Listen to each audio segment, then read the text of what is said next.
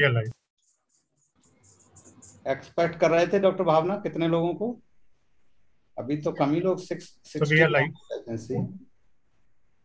So a very good af- good evening to all of you, and uh, I welcome you all today uh, for this webinar, which has been organized on the occasion of National Eye Donation Fortnight, which is conducted every year uh, throughout India. And this fortnight is being celebrated to create awareness on various aspects of eye donation. In addition to uh, eye donation, we we uh, do many activities to uh, promote corneal transplantation, retrieval, as well as uh, surgeries. And uh, it is our small endeavor in this fortnight to organize this international webinar on uh, as a series of webinars which we are conducting. And today we are doing this eye banking and corneal transplantation webinar.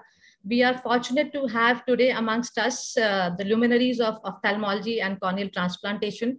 We have uh, Professor Claus Cursiefen from Germany, who is heading the department at University of Cologne and Professor Titiyal, who is the presently the chief of Dr. RP Center, AIIMS New Delhi. We have uh, we have Dr. Ragini Parekh from uh, JJ Medical College, uh, Mumbai, and we have uh, Dr. Samar Basak and Professor Radhika Tandon as speakers today. I welcome our guest of honor, uh, Professor Sarman Singh, who is the director and CEO of uh, AIIMS Bhopal. Thank you all once again formally. And we are honored to have you, sir, today, uh, uh, this evening amongst us, sir. And we know that you have always been a guiding force in all our endeavors, be it banking or any sort of uh, clinical or patient related affairs, sir. We are truly grateful to you today uh, that you have uh, gathered some time to grace this occasion, sir. So um, I uh, we straight away start with the keynote lecture of Professor Titiyal today, and he will be speaking on uh, newer norms of eye banking. Uh, we welcome Professor Titiyal to give his keynote address.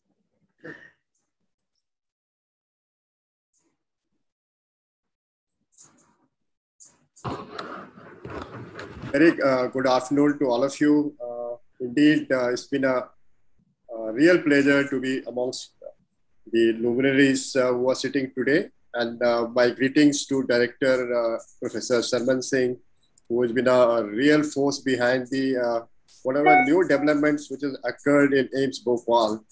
And uh, congratulations to uh, Dr. Bhavna for uh, getting this very important issue of social cause to be discussed in this fortnight of national eye donation.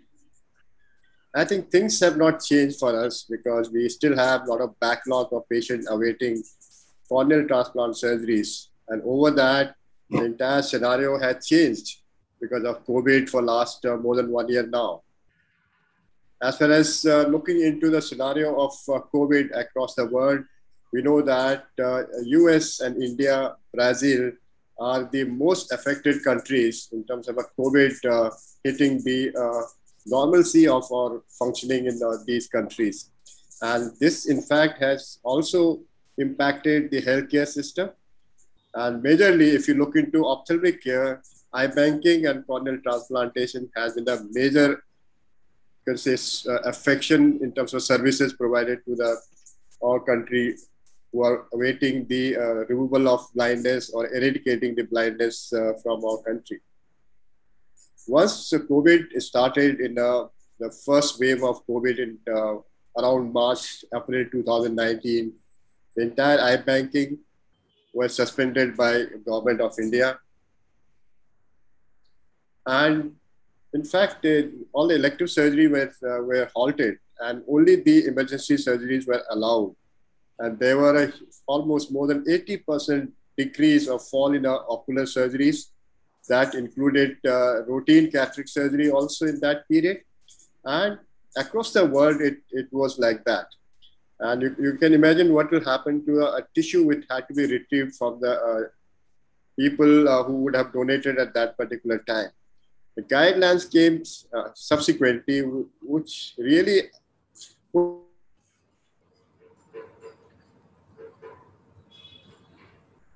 bank in various parts of the country. Precautionary measures were taken uh, to look into various aspects of a corneal tissue retrieval and subsequently transplantations, looking into two areas. One is a donor-related uh, problems which may cause transmission to the person who's receiving or the staff who are engaged into a transplant process. This holds true for the organ transplantation as well as tissue transplantation also. And there's a potential risk of COVID occurring in a patient a pre-operative phase during investigations, during admission, and subsequently they stay in the hospital during post-surgery also.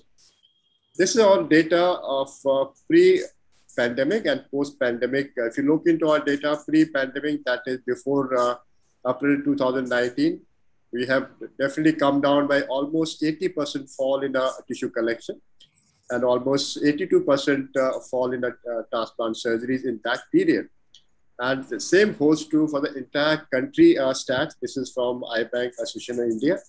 You can see there is almost 63% fall in the tissue collection and more than 50% reduction in the corneal transplant surgeries.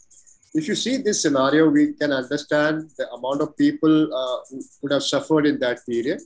Many people would have gone into a stage where the vision may not recover after transplant surgery also, because many people suffer glaucoma, chronic inflammation, and the number of patients awaiting uh, surgery in distant places may not be able to travel to a place where actual corneal transplant can occur in these transplant centers. If I look into our data in National Eye Bank in RP Center, we used to have around 500 cases awaiting surgeries in end of 2019. But now we know that in 2021, our waiting list had increased to uh, almost 800 patients. So there is a significant increase in the number of cases. This is a graphical uh, representation of how uh, corneal tissue and transplant surgery affected by COVID. Because you can see around June 20, uh, we did have a, a significant number of uh, uh, surgeries, but they all cases were used the preserved cornea for uh, infected cases, though collection was very, very less. And they lasted up to December 20. And after the decrease in a wave, first wave, that we started collecting more, more surgeries. Then we had a second wave that impacted the uh, eye banking also. Now from June 21, July 21, we know that uh, things are coming back to normalcy. So this is a biphasic curve in the two years I'm showing that would be translated to various uh, aspects also. So this is a very nice uh, telephonic uh, survey uh, done by uh, LV Prasad team, where they contacted various uh, institutions where surgery is being done, and they knew they came out that eight out of 20 eye banks where they contacted could not collect any tissue in the period of April to June 2020. So that is the amount of impact of COVID in these cases. And almost 66% of surgeons could not perform any surgery in that period. So that was a, for the surgeons, you can imagine what would happen to the people who are doing a training or, fellows. The training has also severely impacted by COVID as such. There's a significant decrease in the number of uh, uh, referral in the US also, and number of surgeries has also decreased by 45% and the scheduled surgeries have gone down in 2019 to 20, and it was picked up towards the end of 2020 in US. And same scenario is there in the Europe also. This, if you see here uh, from 2019, 20, you see number of surgeries and collections have significantly decreased in Europe also. But the entire scenario across the world is similar. The tissue collection, we have taken a proper guidelines, which have been formed by various uh, committees the tissue had to be quarantined for 48 hours after retrieval. And uh, mainly it was a hospital cornea retrieval program. Subsequently, we could get a voluntary donation approval also. And uh, from red zones, eye banking activities were totally stopped. Collection of nasal swab for RT-PCR tests is actually not mandatory uh, as per the guidelines are concerned, but is left to the medical directors of a particular institution depending on uh, their discretion to use this test. Positive uh, cases uh, who have uh, positive uh, COVID-19 disease or they suffered the disease within the first four weeks of their death, this will be a contraindication for a collection. Similarly, a history of acute respiratory illness or fever, which is more than 104 degrees, may again be a contraindication. Exposure to a area where confirmed patients were there within a 14 days were a contraindication as such. And people living in the red zone, evidence of conjunctivitis or acute respiratory disease would be a contraindication till date also. This is a very nice algorithm uh, published by Eye Bank Association India by Professor Namrata Sharma, where the algorithms are given how our counselors or our tissue retrieval people should apply their discretion to collect tissue or not. If you have confirmed cases of COVID, we can't collect them. But if you have no if you don't epidemiological risk, there also the clinical situation has to be assessed. If it is compatible with COVID-19, then again, we can't uh, take the tissue. And if it is uh, no clinical symptoms, yes, we might take a donation from them and use for our surgeries. Similarly, if I have a clinical situation has to be assessed without symptoms, you might take the tissue do RT-PCR tests. If they are positive, again, you can't use the tissue. If they are negative, you can use the tissue also. This is a much more clearer guidelines uh, uh, which we have been following from Eye Bank Association America. RT-PCR test, if results are available, that's going to give, give us a better base for a selection of a tissue. Any signs, symptoms uh, has to be no, no for a collection. Similarly, HT has to be taken appropriately for a contact with the affected patient vaccination status is uh, not yet been fully uh, uh decided if people are fully vaccinated. If they don't have a history of a COVID exposure, maybe yes, we can take. But even patient is vaccinated fully, but they had a symptoms of COVID, then it should again be an exclusion criteria for a collection of tissue as such. As far as teaching is concerned during this period for our fellows, if you have a uh, 3D headset system where surgeon and the uh, can say fellows can sit further away from the surgical area. That will be much more better. And in fact, uh, they can see what is happening as good as a surgeon, which is seeing through the 3D uh, polarized uh, glasses. And this will be the better way for future also for all types of teaching, not only for the keratoplasties, for other surgery also. Two things I would like to highlight, which are not uh, resolved yet, despite having to go for almost two years with the COVID also. What we know exactly is there's a presence of uh, COVID virus, uh, RNA in tears and conjunctival secretions. There's a, reports of presence of viral particles or RNA in the postmortem ocular tissues. The SARS-CoV-2 entry genes, that is ACE2 and uh, TMPRSS2, is uh, expressed in a corneal tissue and conjunctiva. So there's a pot- potential site for a virus entry as such. There's a recent ev- evidences suggesting that uh, SARS-CoV-2 may be able to uh, replicate within the ocular surface cells also. What we don't know exactly is the uh, is there can be a direct transmission of uh, virus from the ocular tissue to when we don't uh, do the transplant surgery to other patients, which with the evidence which we have today, we can't uh, directly rule out that there may be a possibility, though till yet we have no case report as such. In fact, in, in terms of uh, universal testing, which uh, we are thinking of, should we do a RT-PCR test for all uh, disease uh, donors or not? That is left to the discretion of a medical director. But if you see, there are a few reports which have been published, one from Germany. There were 200 postmortem collection of RT-PCR uh, nasal nasopharyngeal swabs, and there were no cases positive for RT, RT-PCR in these cases. But in US, you can see there were 4.8% uh, donors tissue uh, uh, RT-PCR done from nasopharyngeal swab were positive. This is a study from uh, Delhi from Guru Center by Dr. Arora. It shows 18% positivity in our donor tissues as such. So if we would have only gone with a history which is uh, supposed to be negative from these patients for a COVID, then we would have uh, used these tissues and maybe we are not sure what would have happened in these cases. As far as our experience is concerned, we collected 432 donor cornea and we had almost 5.5% positivity uh, donor tissue as such. Universal, universal testing, uh, the, I think the points in favor, which I have already talked about, is we always uh, know that there are high prevalence of asymptomatic patients. There are significant patients uh, which will test RT-PCR uh, positive in these patients, which may actually have the virus. And if not, uh, the tissue can transmit the disease, but all staffs can get exposed to a disease in these cases.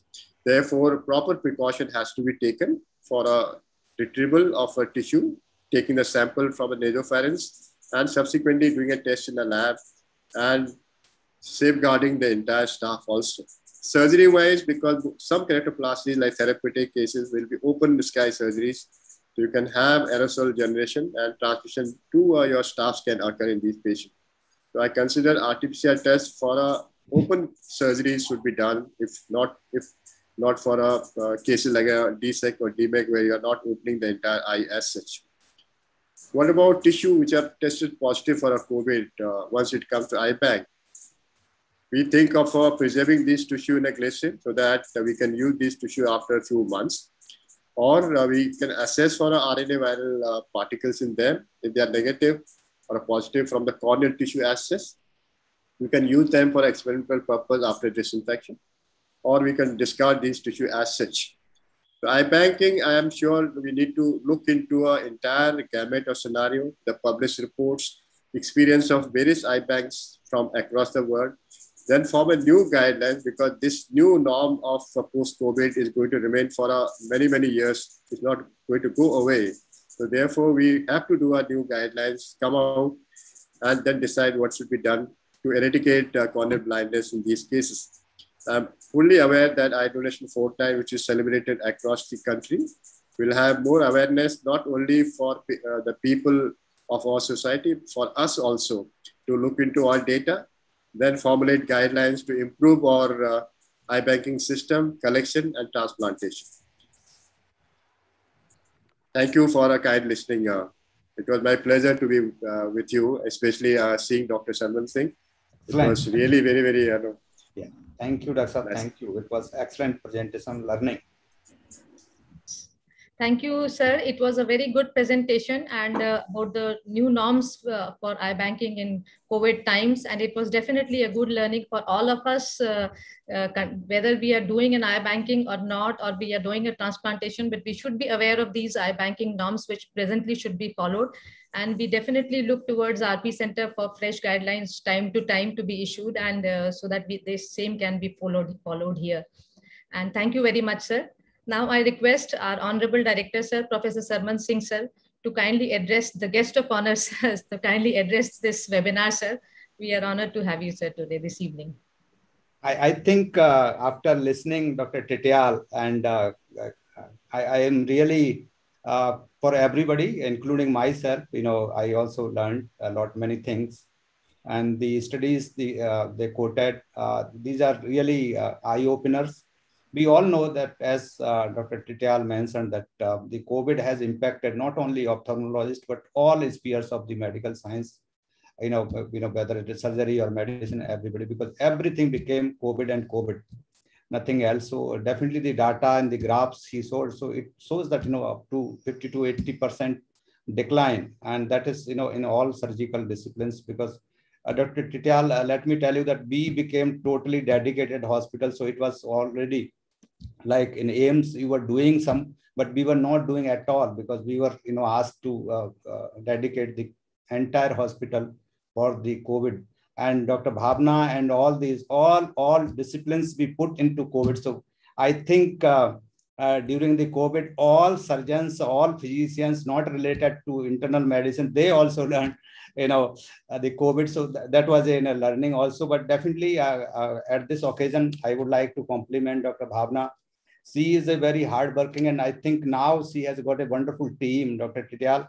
Now almost the all faculty they have joined. So the, she is now I, think uh, better equipped, and I think uh, you should uh, you know patronize her and her department.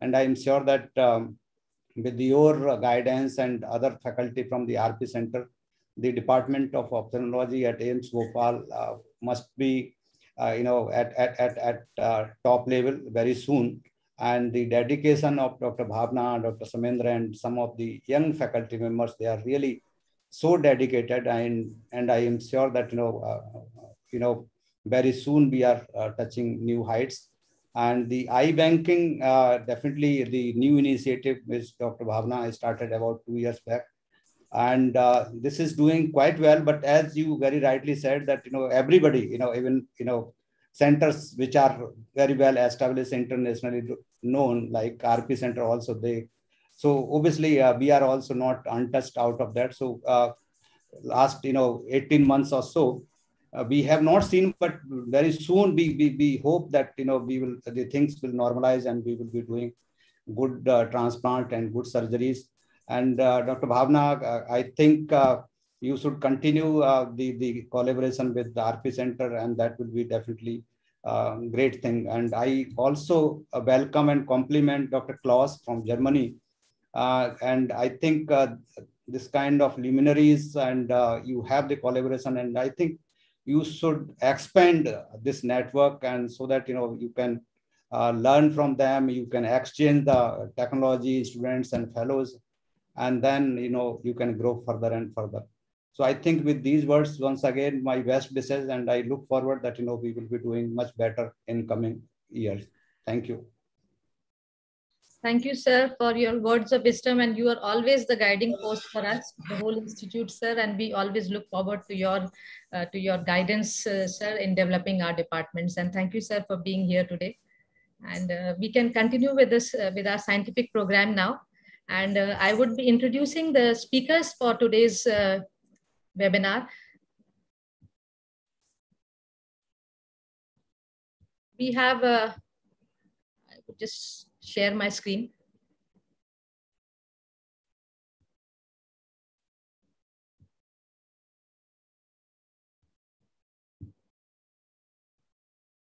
So is the screen visible, Sunil? Yes, ma'am, your screen is visible. Yes. So we have today uh, Professor Claus amongst us, who is the keynote, uh, who will be giving the keynote uh, lecture today and he is known as an avid researcher, clinician, and uh, a surgeon par excellence worldwide and for minimal corneal, yes, ma'am. corneal transplantation surgery. He is the chairperson and the professor of uh, ophthalmology department at University of Cologne, in addition to being the secretary general of Germany Ophthalmological Society. He has numerous publications, more than 500, and various uh, keynote lectures and orations to his credit, in addition to various patents to his credit. And we are fortunate today to have him amongst us. Uh, we have Professor Titiyal, uh, who is the chief of RP Center, AIIMS, New Delhi. And uh, he is he has been conferred with Padma Shri for outstanding work in the field of ophthalmology by Government of India, in addition to uh, the Senior Achievement Award by the American Academy of Ophthalmology and various distinguished awards from the APO, the Asia Pacific Academy of Ophthalmology, from Asia Pacific Association of Cataract, and multiple awards from All India Ophthalmological Society.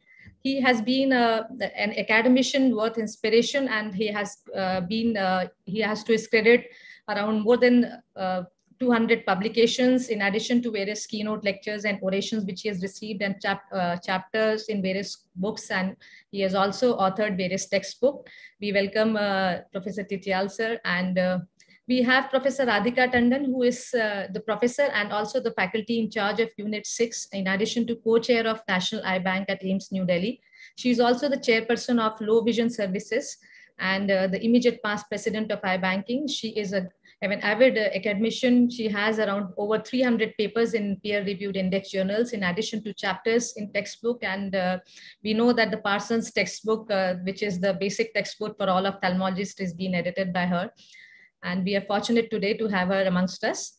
We have Professor, uh, we have Dr. Samar Basak, who is the founder, director, and HOD of cornea services at Disha Eye Hospital. He is a person who's known for corneal transplantation, specifically the lamellar corneal transplantation, and he pioneers in starting this, these surgeries in India. He has various publications, uh, authored multiple chapters and books to his credit, and his special interest is on endothelial keratoplasty, PPRO, and OSDs. Um, last but not the least, my friend, Professor uh, Ragini Parekh, madam, she is heading the Department of uh, Ophthalmology at JJ Medical Hospitals, Mumbai, and she's also presently the scientific uh, chairman of Bombay Ophthalmological Association and Maharashtra Ophthalmological uh, Society. She has received more than 100 awards uh, for exemplary work in ophthalmology and has received the Women Achiever Award. She has uh, since last 25 years, she has been doing a lot of community ophthalmic services and also has distinction of performing more than 100 cataract surgeries in day. Uh, we are truly inspired by you, ma'am. Uh, thank you for being today uh, with us today. And uh, in the chairs, we have uh, Professor Radhika Tandon, uh, Dr. Samar Basak. We have Dr. Madam Kavita Bhatnagar. She's heading the Department of Ophthalmology at AIIMS Jodhpur. And uh, in addition, we have Dr. Prerna Upadhyay. She's a very eminent corneal transplant surgeon in, in uh, at Bhopal, and she's heading the Seva Sadan Eye Hospital at Bhopal. Uh, we have an expert panel. We have uh, Dr. Chintan Malhotra from PGI Chandigarh, and she's a faculty there. We have Dr. Gautam Parmar, Dr. Deepak Mishra, who is uh, from BHU, and uh, Dr. Arvind Maurya, who is presently heading the Department of Ophthalmology at AIIMS BB Nagar. So uh, we welcome you all, and I think we can invite Dr. Claus for his uh, keynote lecture on newer aspects in high-risk keratoplasty. Dr. Claus. Thank, thank you, ma'am, for the lovely introduction. Thank you so much.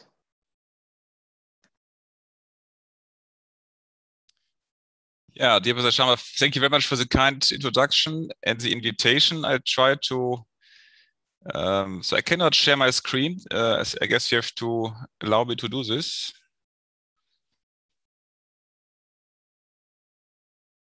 Now I can do it, perfect.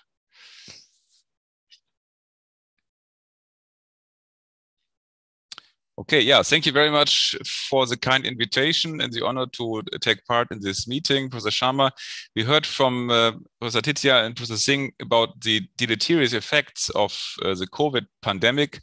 Uh, one uh, good thing to say in brackets is that uh, the pandemic has taught us to uh, better communicate via the internet and to allow such meetings as today where we can share sessions all over uh, the world. So greetings from Cologne uh, here in, in Germany. And uh, I would like to give a short overview on um, new developments in the field of high-risk corneal transplantation.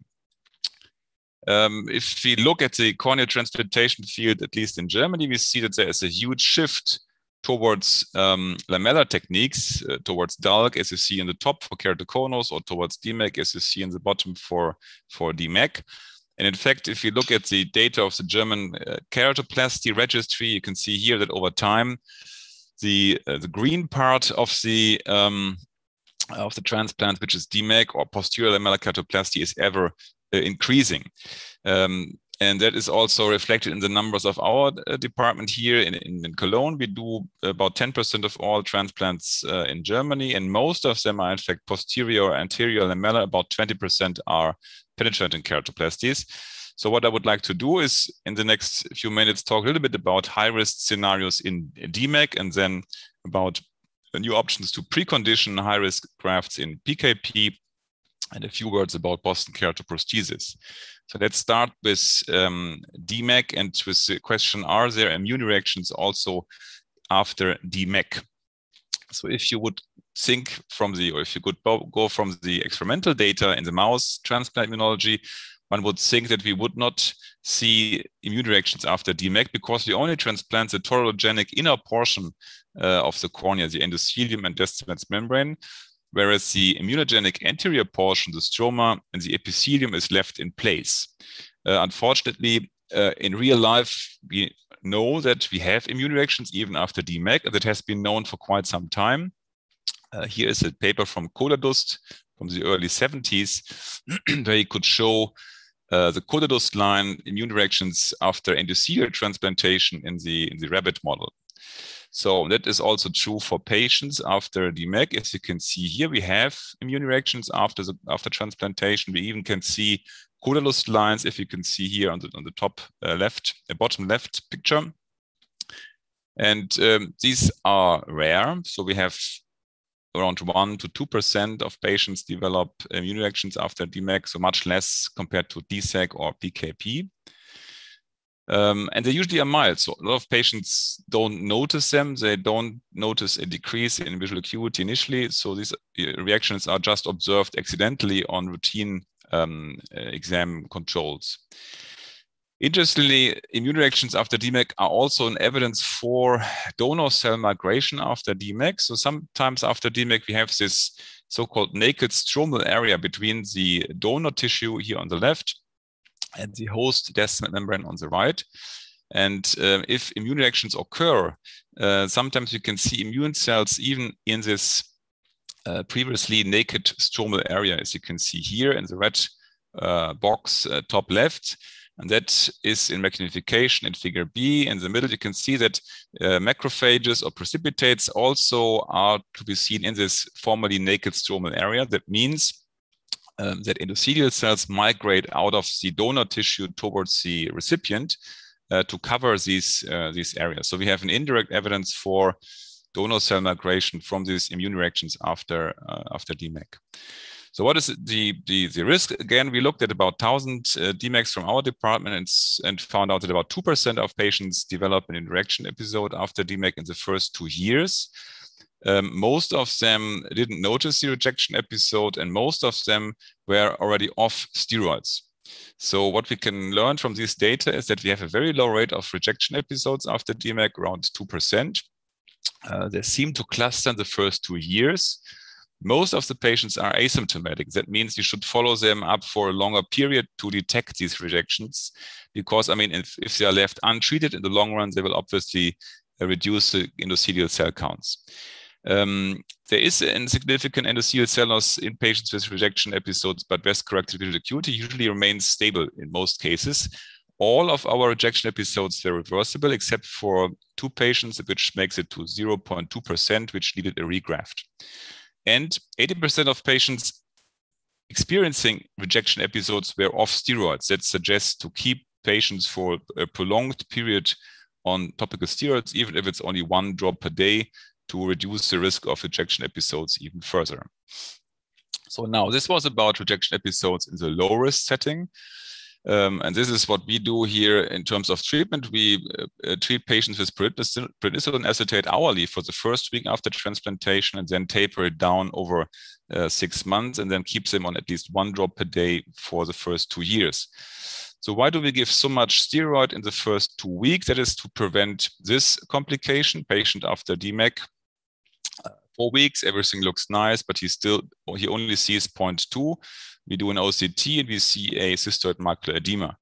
And what we learned is that if we um, give steroids five times a day, what we usually did before, here this is a black bar, and compare it to hourly steroids in the first uh, week, we can significantly reduce the risk of um, cystoid macular edema after DMEK or after triple DMEK. And that's why we give hourly steroids uh, for the first week after um, transplantation to reduce cystoid macular edema.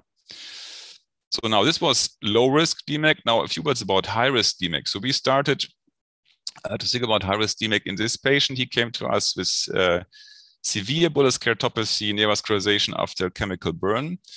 Uh, cornea was severely thickened, nearly 2,000, 1200 micrometer with stromal vascularization, poor visual acuity. What we did, we did a DMEK with intraoperative OCT. Uh, why intraoperative OCT? Because the visibility is so poor that um, only with the IOCT we can uh, judge intraoperatively the, the correct rolling behavior of Descemet's membrane. And uh, this allows to perform DMEK in a safe way also in eyes with severe uh, stromal edema. And what we saw in this uh, patient after DMEK uh, not only did the thickness of the corneal stroma uh, significantly reduce from 1200 to nearly 600 micrometer, visual acuity increased significantly, but also the um, neovascularization of the stroma and the edema uh, went away. So we observed a interesting phenomenon of uh, increased transparency, but also the regression of corneal neovascularization. And uh, we learned that DMEK also seems to work for high-risk eyes with edema and neovascularization, obviously only if they don't if they don't have a scar, and that intraoperative OCT can be very helpful. So having having done this, we looked at a, our larger database, uh, the Cologne DMEK database, and found overall uh, 24 patients which um, had DMEK in vascularized, so-called high-risk eyes with edema and neovascularization. And we looked at these uh, patients, and what we found is again, we see a significant regression of corneal neovascularization uh, if you compare preoperative and postoperative. And we see again a significant increase in visual acuity from 0.6 logmar to 0.4, uh, 0, uh, 0.47 logmar. So not as good as we normally would expect for DMEK, but significantly better than before. Uh, and we have a rejection episode of about 4%. So there's a slightly, it seems to be a slightly higher risk for rejection episodes in these vascularized high risk eyes, but still that's much better than if you compare it to high risk PKP. And from this, we learned that uh, DMEK may also be an option um, to be used in vascularized high-risk eyes, um, even if um, the visual acuity will not be perfect, but it's much faster than after high-risk PKP. And obviously, the risk for rejection is also much lower than after, after PKP. There's another scenario um, where the rejection risk with DMEK is a bit higher. That is if we use DMEK for failed penetrating keratoplasty, uh, as you can see here. Uh, we looked at 52 hours eyes from our department with a failed penetrating graft, which received DMEK. And what we notice is that first you have a much higher rebubbling rate because of the posterior uh, curvature of the of the old graft, and that also the rejection rate here with 13% is much higher compared to the normal risk scenario. So there seemed to be also a high risk setting for DMEK in um, regrafting eyes and also in eyes with uh, vascularization. And so there is also something like a high risk setting for, for DMEK. Prevention would be long-term low-dose topical steroids, also in these uh, high-risk uh, DMEK uh, patients. So now I would like to talk a little bit about um, what can we do if we have a high risk eye where we need to do a penetrating keratoplasty? Can we do something preoperatively to reduce the risk of rejection episode? Here is a patient, again, after chemical burn. He um, had a fine needle destruction of his vessels prior to penetrating keratoplasty, then PKP, and now we have a five-year follow-up with no rejection uh, episode so far. So we thought, okay, is this just in uh, is this by accident or can this be a strategy to um, promote graft survival? To do a fine needle diathermy, which has been uh, around for quite some time as a technique to um, destroy corneal vessels by unipolar cautery. If you place a 10-0 nylon suture and then put um, um, electrode, uh, electrical energy to it to so you can cauterize and destroy the blood vessel. And that's something which we actually did already for quite some time. For example, here this patient with uh, after herpetic keratitis, so we destroy the vessel, we wait for some time, we give him some Avastin subconjunctivally, and then after a, a quiet interval, we do um, a penetrating keratoplasty, and that works very nice to to get rid of the uh, to get rid of the vessels. So we asked ourselves, okay, do does this treatment also promote graft survival? So we first went to the mouse model. Um, uh, you can see here a mouse model where we induced neovascularization in the cornea. Then we put in the fine needle diathermy. We cauterized the, uh, the vessels and got this nice white band where the vessels were destroyed. And then we saw that this destroyed not only the blood vessels, but also the, the lymphatic vessels of um, these mice.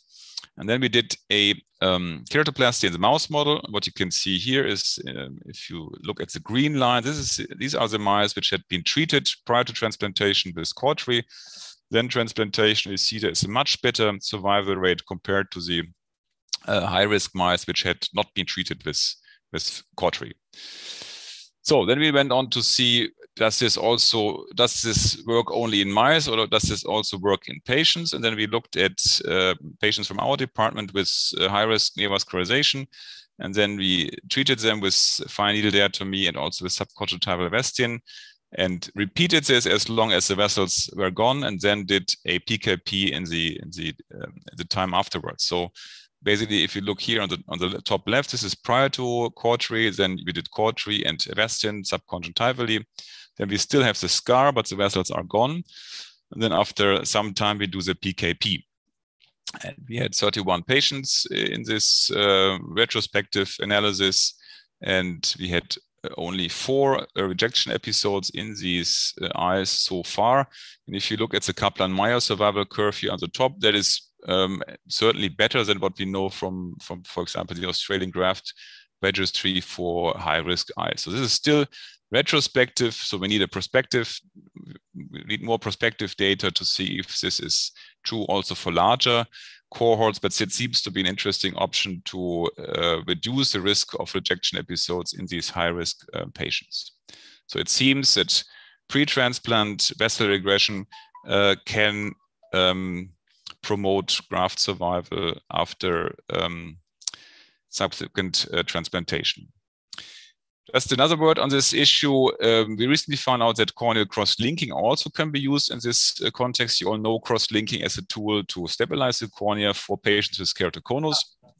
Um, what we uh, can also do is to cross-link these corneas to stabilize the cornea and to destroy the vessels. So that's again something we found out first in the mouse model where we uh, induced neovascularizations and we cross-linked um, the, the cornea and found out that this not only reduced uh, blood vessels but also um, lymphatic vessels. And again, here, if we pre-treat these corneas and then do transplantation, uh, we have a much better um, graft survival. So cross-linking seems to be also an option to get rid of vessels and promote subsequent graft survival.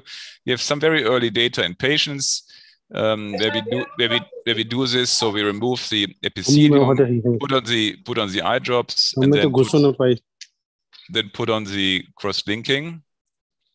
Uh, there's some sound in between. But you need to mute yourself. Yes, thank you. Yeah.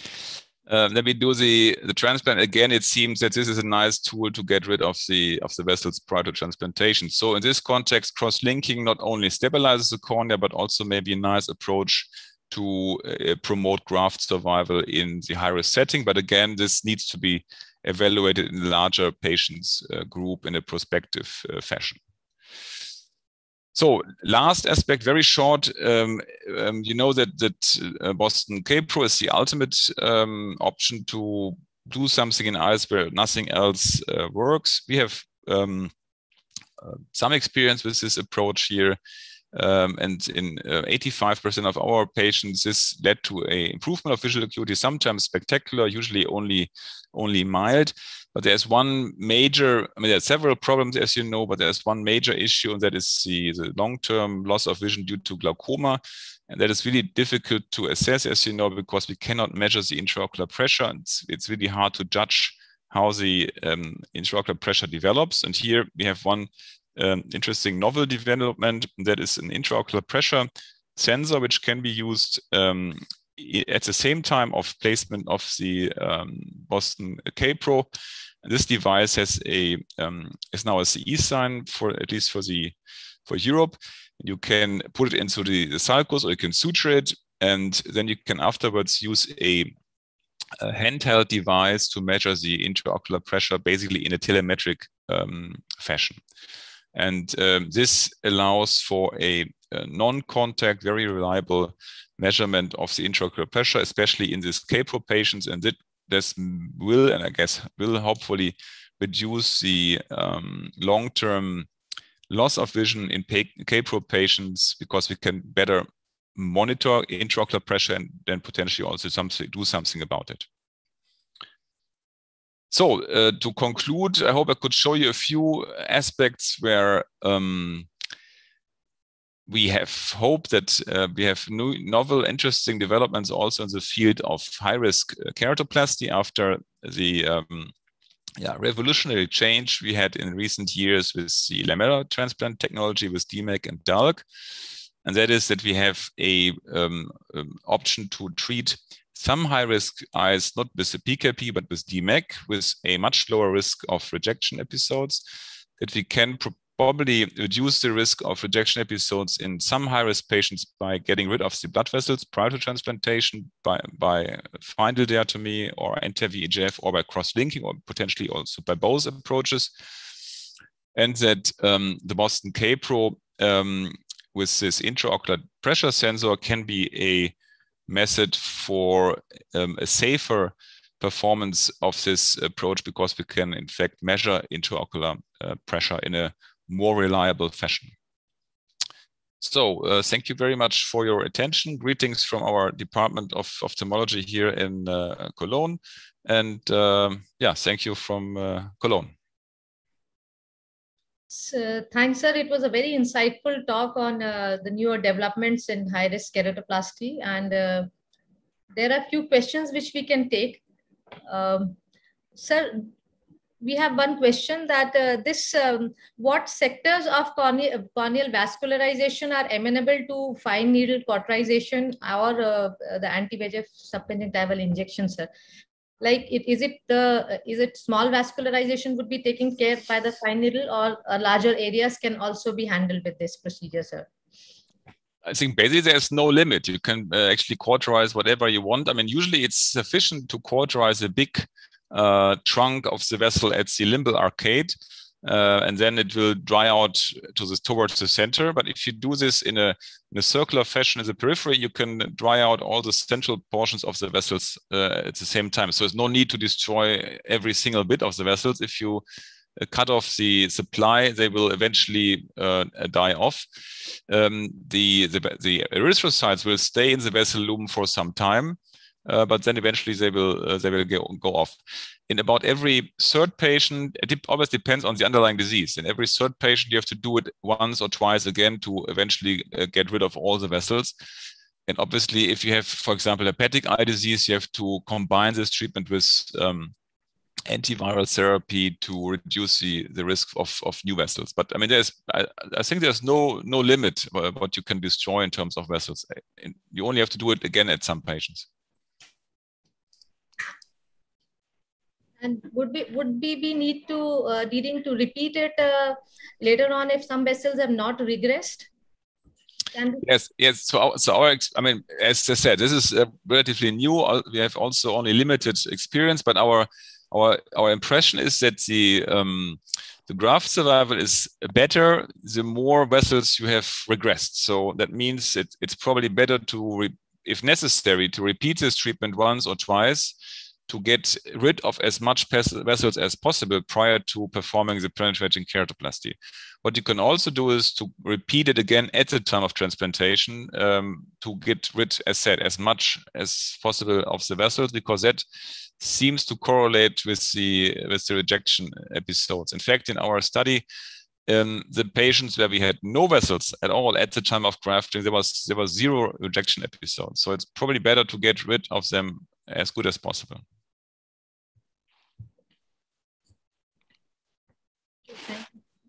Do we have any more questions, Bratendu? Uh, yes, ma'am. We have uh, one question from our uh, resident, Dr. Grishma. Uh, what are all new options for corneal transplantation in graft failure patients who had undergone keratoplasty already twice? So I'm not sure if I got the question correct. So the question is, can we do DMEK after repeated graft failure, or what was the question?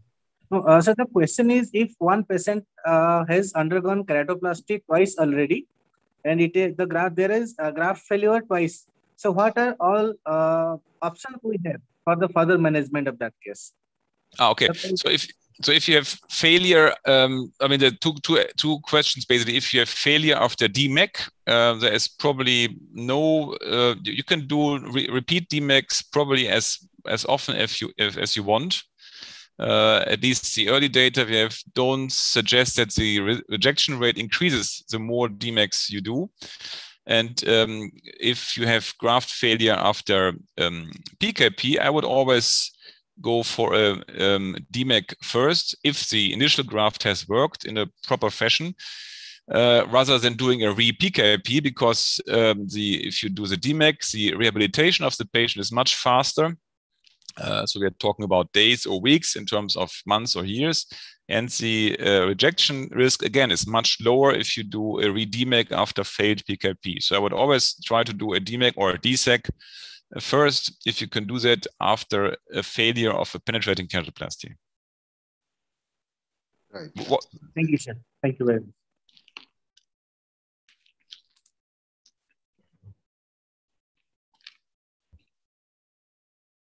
Right. So, uh, since presently we do not have any more questions, as we receive, we can uh, ask Dr. Uh, Claus uh, and in the meantime, we can invite Dr. Uh, Samar Basak sir to deliver his lecture on optimization, maximum your optimization of uh, maximum optimization of tissue during shortage. So I sir. share my screen. Yes, sir.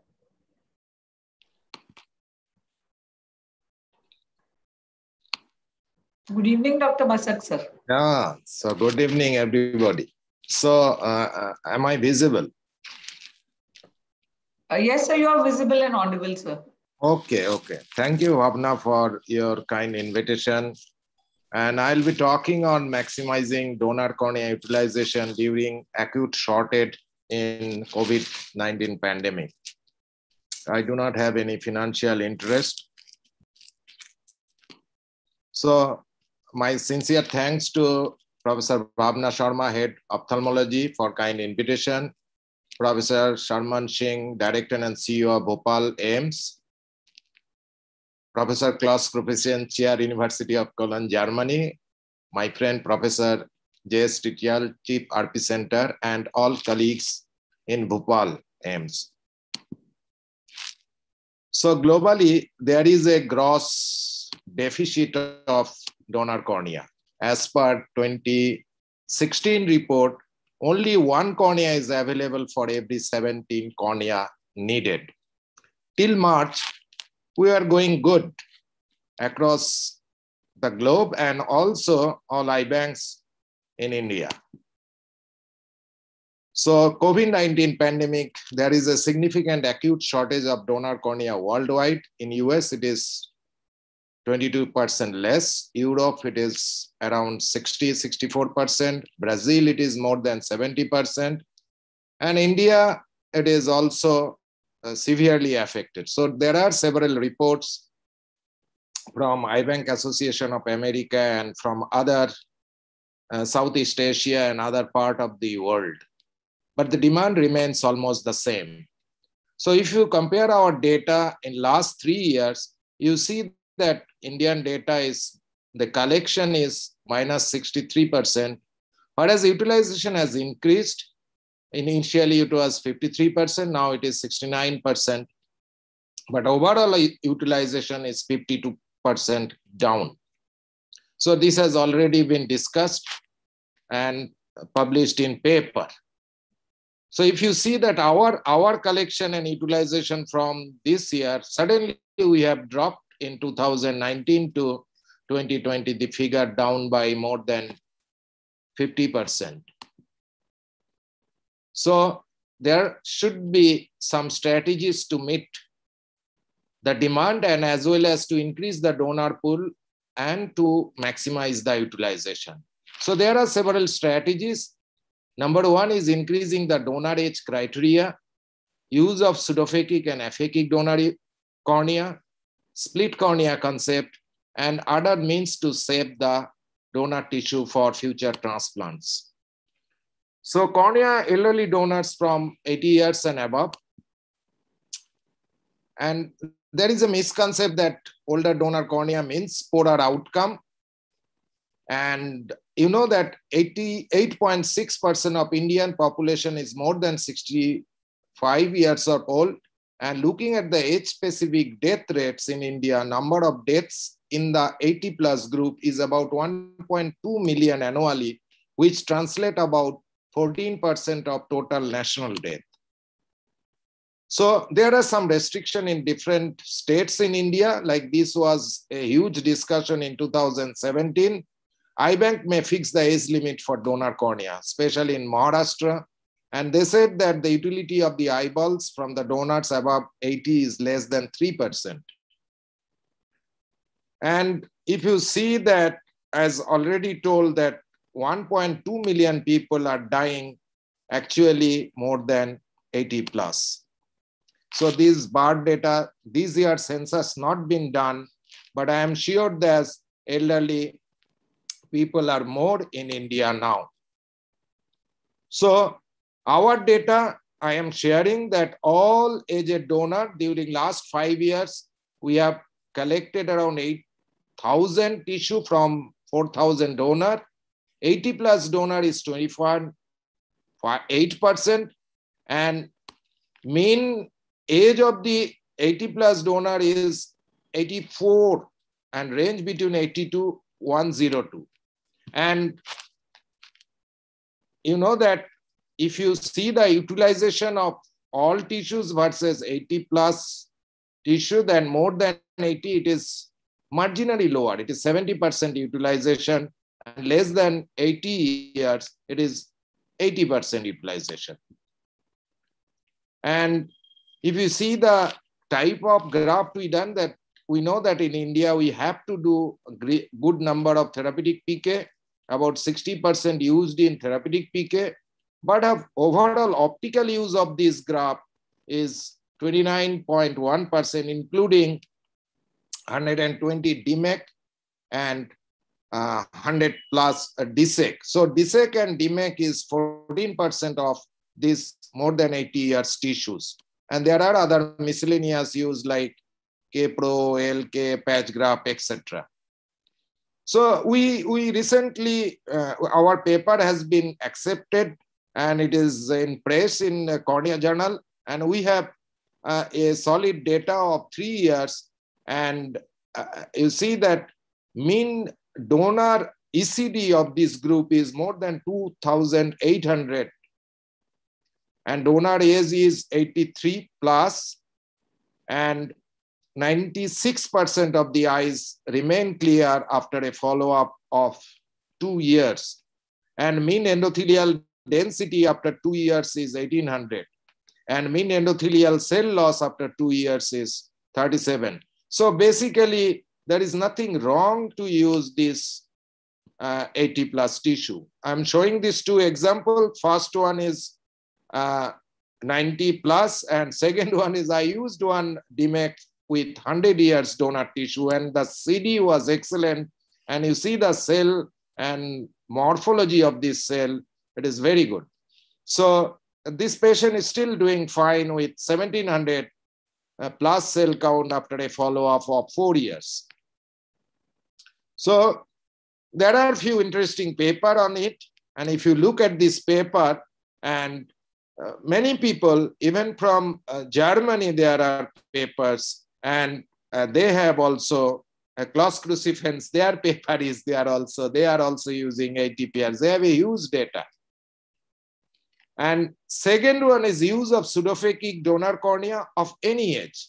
So if you have very good eye bank support, and if you have very good specular, very good uh, uh, lab to see the utility of the eyes, you can use the pseudophakic donor eyes for even for Descemet membrane endothelial keratoplasty. We can also use it for therapeutic PK, optical PK. So you see that with pseudophakic tissue, we can also use in our eye bank. Split cornea concept is nothing new already been described by many people, including the uh, this uh, Cursiefen group. They have already showed that this uh, it can be used one cornea for multiple recipient, and there are theoretical uh, calculation that in two use scenario you can save in 1.5 to 3 percent cornea and if you believe in quarter DMEK, then you could actually save 20 to 25% of donor cornea. Thereby, you can increase your donor utilization. So, During donor preparation, this paper which is, is also accepted in uh, Cornea Journal recently in press. So we have used a different technique, a novel technique of using DMEK preparation keeping and our old after the window is original made, method, the method anterior part of the tissue cannot be used for DALK or other surgeries. In the novel technique using BCL interface, we modify some of these steps. The tissue is first placed on a Teflon block with the endothelial side up, and a 9.5 millimeter partial trephination is done. It is then stained with trypan blue to identify the cut margins. The peripheral DM beyond the trephination is then stripped off. The DM endothelial edge is carefully identified and loosened all 360 degrees with an elevator instrument.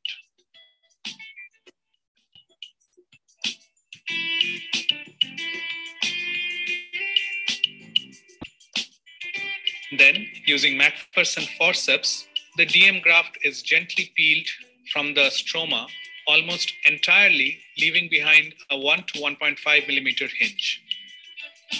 We then move to a second Teflon block where a B cell is placed and refined to 12 millimeters.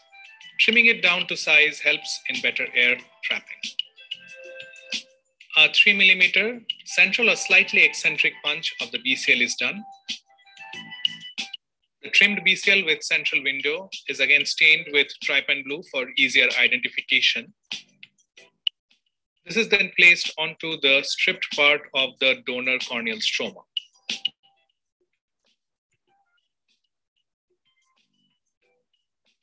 Very carefully, the stripped DM endothelium is floated back on the BCL surface and the water soaked to prevent it from slipping. The hinged part of the donor graft is then separated and the entire DM endothelium graft is gently centered on the BCL. The interface fluid is soaked so that the graft sticks to the BCL due to surface tension. Now the BCL supported tissue is flipped over and air is trapped so that it doesn't collapse. The exposed descemet is dried carefully through the three millimeter window and the S stamp is placed as usual. The BCL and DM complex is flipped back. It is then placed on the second Teflon block with the endothelium side up. And now the final eight millimeter trephination is done.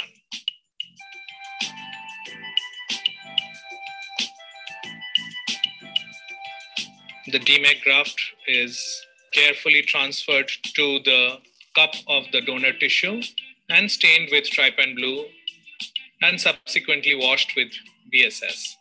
The stamped graft is now ready. It is then transferred to a Petri dish containing BSS, ready to be loaded into the injector system.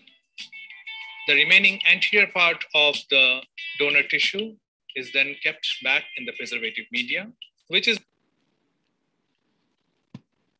So that part uh, can be used for uh, DALK very easily without, uh, you can use up to 9.5 millimeter graft without any problem. So we have used during pandemic this, we had to use this kind of uh, cornea by split uh, uh, technique. And we use for tectonic graft, large therapeutic graft, and also Boston K-Pro carrier.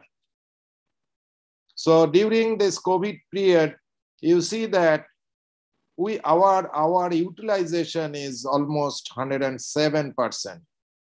This is uh, in some months it is 113 percent, some month it is 97 percent. So we have used this uh, way. The many total tissue saved during this period is 8.9 percent in our scenario. So there are other means not to waste.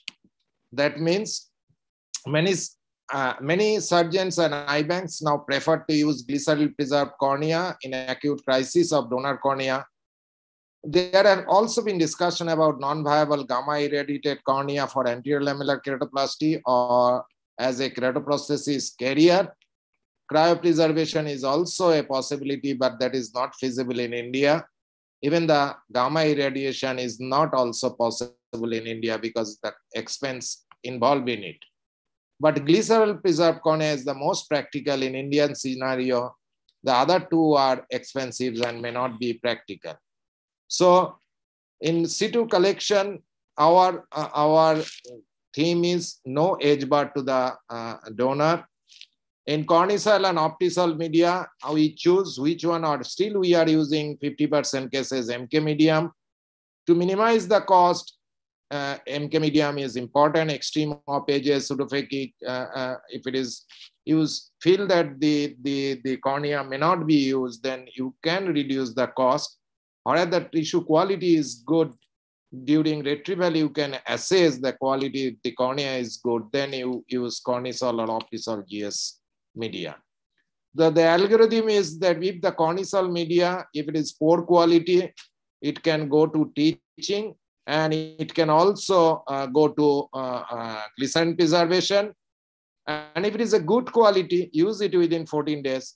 Still, if it is not used, because sometimes that COVID wave is uh, fluctuating, sometimes you have tissue, then you do not have patient.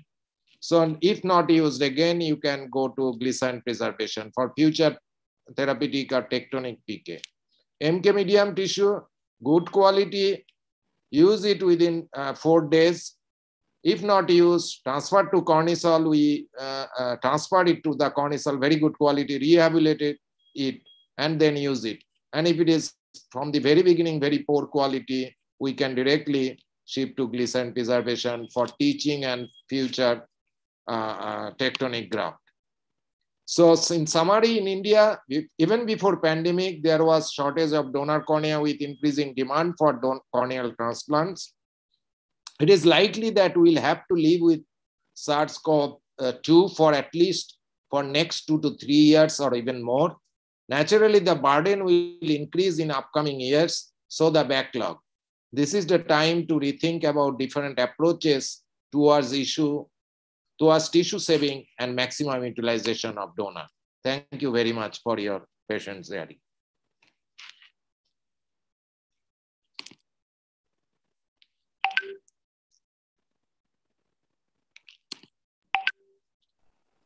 Thank you, sir, for this wonderful and insightful uh, talk, sir. And it is always a pleasure to hear you and see your surgeries. And uh, I have just one question, sir. I think Ragini madam wishes to ask something, I think. Yes, Ragini. No, I was just clapping. So, you know what? Uh, now that uh, uh, one thing that you really opened our eyes about is the age of the donor. We are always very skeptical about using donors uh, with a higher age group. And I think your presentation uh, made us little uh, relaxed. And I think we will be less concerned and and i think also i've seen you operate and you are so uh, beautiful and you are so careful with the patients and you see your post-op. So the surgeon does matter also so with the post-op results uh, with the age of the donor sir. The results are i think the uh, professor Cursiefen also they have a very big, good big data about that's all different kind of donor tissue. And they have also shown that if you have your eye bank is very good in evaluation. If you evaluate the tissue nicely, then it is just a thought block. You do it only the selection of the donor uh, recipient will be, you will have to be little more cautious that our eye bank, our own eye bank in-house facility. So we are distributing our patients only. So if somebody is 60 plus, we can genuinely use those tissue of 80 plus. But if someone is okay, 20 plus, we, we do not like to use it. This is the thing. Yes, sir. Thank you, sir. I think it's been a revelation and it's it's uh, it's it will be good for all of us, sir. Thank you so much, sir. There are few questions from our residents. Uh, there is one uh, very interesting question by Dr. Anija. Uh, if one patient requires full thickness PK, and the full thickness graft is not available, can we use anterior graft of one donor and posterior graft of another donor? Full thickness PK, no, no, PK for optical reason, you have to use a right graft for optical reason. Like say one uh, leukomatous corneal as the Cursiefen has shown that's very good photograph, same, same, then you have to use the all five layers. But suppose it is a tectonic as a perforating globe, the main aim is to save the eyeball. Globe saving procedure, there the vision is not a criteria. Then you can use the anterior lamellar pulse as a short-term stopgap emergency measure. And when you have a very good tissue, you can replace it if the visual potential is good in that particular patient. Otherwise, split cornea is basically for DALK and DMEK is the best possible answer. Best possible answer. Okay, thank you, sir. So there is one more question from Dr. Sunil. For long-term preservation, if we put uh, tissue first in the MK media and then after the glycerol, glycerol containing media, then is there any significant compromise in the tissue quality? No, no, glycerin preserved, it is for future use it is only again for future use when you do not like fast last year in April, May, what happened? People are crying for tissue. So glycerin preserved only save those eyeballs. But in future, this might happen in third wave also. We do not know, but you should have some tissue in your stock. That's why glycerin preserved cornea can be kept for a year or two and you can use it when it is a globe saving procedure, not vision giving procedure. Yes, sir. Thank you, sir. Sir, can I can I ask a question, sir? Uh, yes. Hello, sir. Uh, sir, uh, as a beginner uh, DMEK surgeon, we, we get to know that uh, the extreme of edges are usually contraindicated because in younger patients, it is very difficult to peel the uh, endothelium from the donor, as well as it, it gives you a tight roll. Right, right. In the older people, older people, sir, though the peeling is very easy, but uh, what is the what about the folding of uh, that donor? Folding sometimes they do not have fold. typical scroll, so they are actually uh, I, I, I in my hand it is easier to unfold the uh, yeah, graft on the older because, tissue. If you use a stamped yeah. one, that is easier because typical scroll you may not find in 15 20% of the cases. Like even yeah. those who are using IOCT, they might be misleading.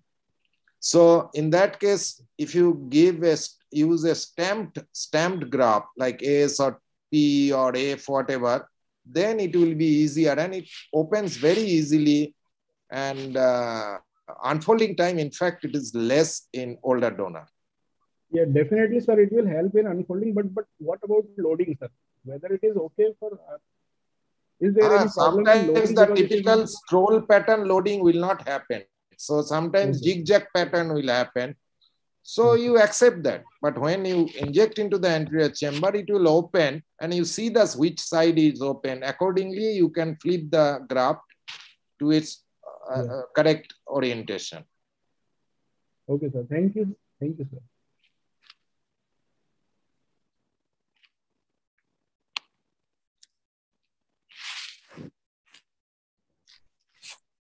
Yes, I think we can invite our next speaker now, Professor Radhika Tandon. She would be speaking on uh, pediatric keratoplasty the right way. Madam Radhika Tandon. Uh, good evening, everyone. Thank you for inviting me. Many congratulations on a wonderful program and uh, very good uh, discussion. Um, are you able to see my screen and am I audible? Yes, ma'am. Both. Okay. So, um, yes, now when we're talking about uh, pediatric keratoplasty or keratoplasty in children, um, the thing is that uh, the goals and the way you approach the things are a little bit different from adults. Uh, there are a lot of key um, implications in terms of the visual de- uh, visual development and the entire uh, cognitive development of the child. Plus, the kind of patients you're dealing with and the kind of pathologies are different. For example, um, there may be some very severe cases where even if you're able to restore some amount of vision and, and, a, and a clear visual access, it can make a lot of difference compared to that particular child living in complete darkness for both the eyes. So therefore, I've, I've labeled it as I would encourage people to look at it as restoring vision in children, looking at the possibilities and challenges, and you have to take a tailored approach. So that is the thing about childhood. It's not only the question of doing the surgery, restoring the vision, but after that, it requires special care, which is more difficult. And effectively, you have to see that is your intervention going to last, last a lifetime? It could imply that at least 50, 60, 70 years uh, of, um, of uh, survival is what you're looking at. Uh, so therefore, it can be quite challenging. So uh, again, as I said, in children, it's not like an isolated, just clear the visual axis and give vision in that particular eye. It is the aim is to give binocularity. Ideally, one would like to give stereopsis. Plus, of course, there has to be uh, comfort and uh, essential is that you have to have very careful follow-up and uh, include the parents in the process as well. Uh, one second. So uh, when you're talking about children and vision, uh, you, will understand that a lot of these children will have multiple other pathologies as well. Of course, we have the cataracts, which could be associated at the same time or they may develop later on. Plus, we have the concept of refractive error, which has a different implication in children because that can lead to, again, not, not get, getting the vision that you want. So you have to take attention, give attention to the amblyopia of course, the children are prone to trauma and infections and strabismus and amblyopia. So these are the normal problems of children. And then on top of that, you have corneal opacities. And when you have a corneal opacity, which you're going to treat with a, with a, with a transplant, you have all these possibilities which are added on. So it's a very, very complex scenario.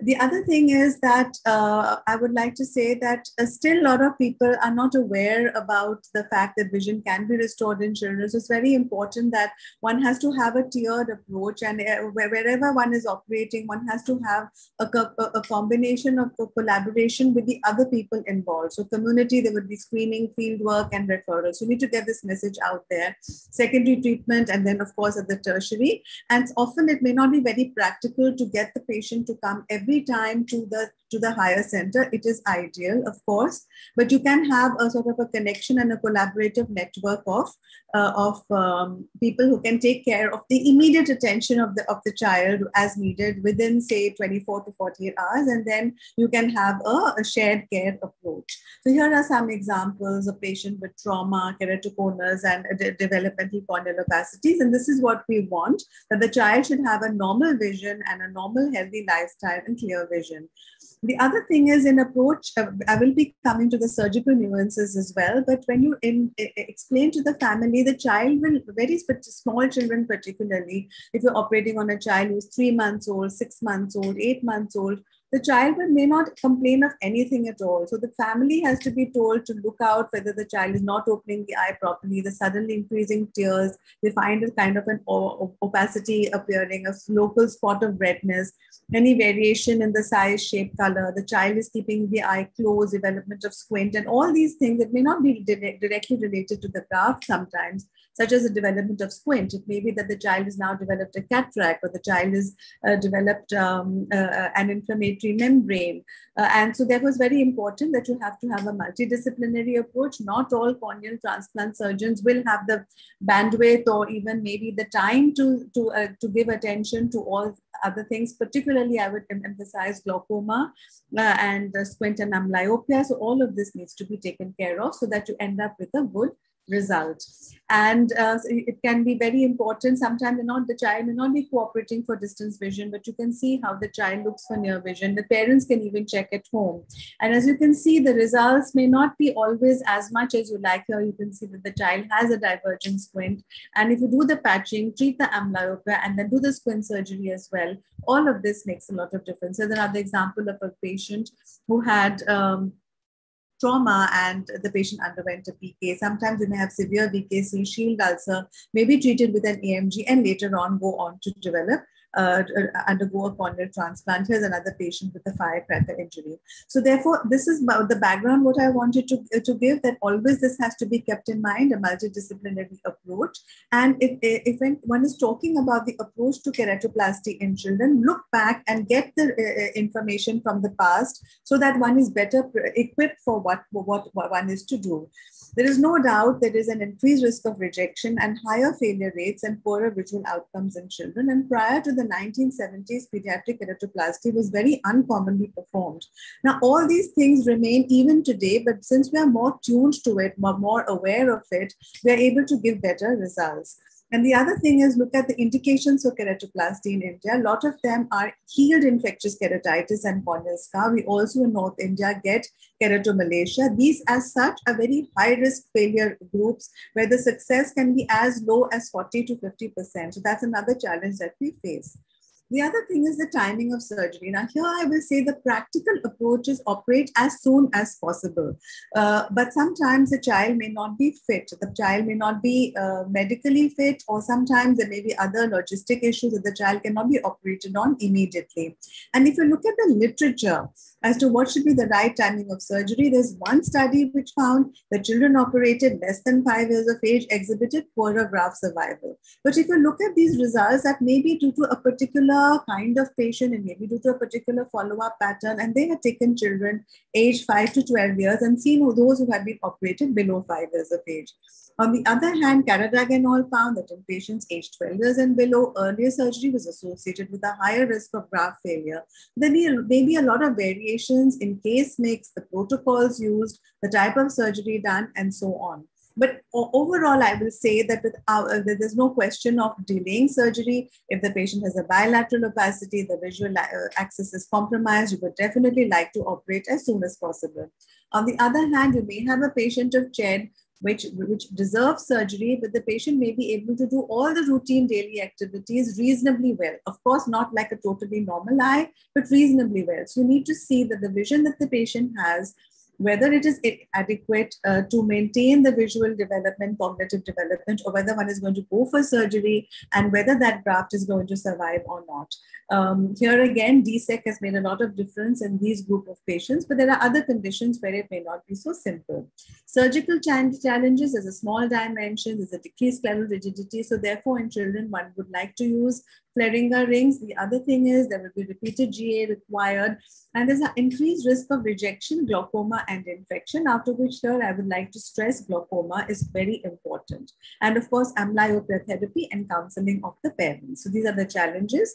And if you go ahead and see what about the outcomes, now, look, this paper presented, uh, published in American Journal of Ophthalmology in 2016, again highlights the challenges that I've been talking about. 35 children from a very, very established corneal unit with excellent surgeons had found that the overall mean graft survival was about 45 plus minus 5.8 months. That is not as long as you would like considering the life of the child and the overall survival rate was 75% at one year. But this is interesting. The one year graft survival rate, if you separate the eyes which had glaucoma and the ones who didn't have glaucoma, there was a clear separation. That is, in the presence of glaucoma, the survival rate reduces remarkably. So, this is where I emphasize that if a child has glaucoma, then the prognosis is correspondingly poorer and more effort needs to be taken along with the glaucoma team. Whereas the child doesn't have glaucoma, one may have more encouraging results. The other thing, as I mentioned, is look at the data on uh, rejection.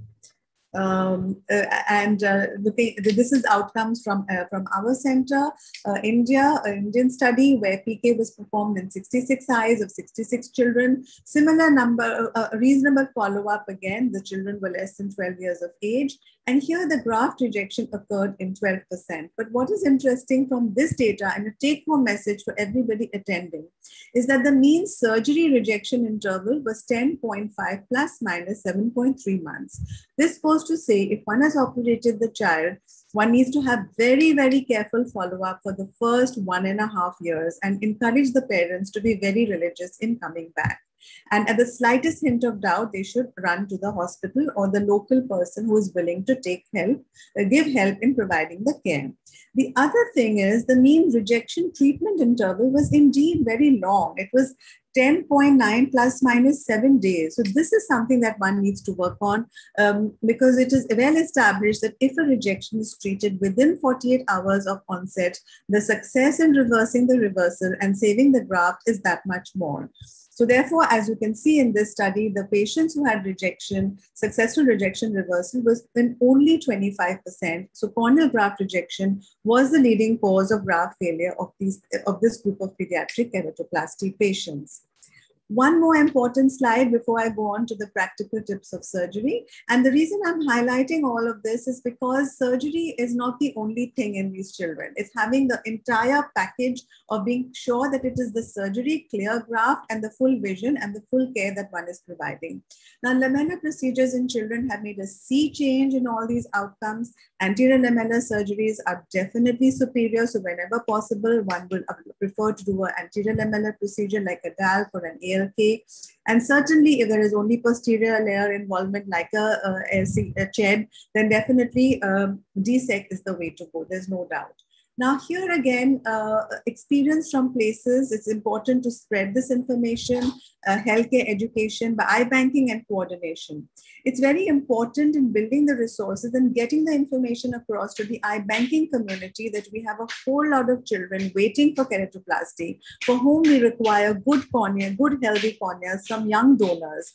And if you give them positive feedback, and in this eye donation fortnight, also we hope that this these kind of stories can motivate the eye donation counselors to make sure that they are making more efforts. And even if they give to the donor family the story, that a small child will be able to benefit from your gift of sight, that makes a huge difference.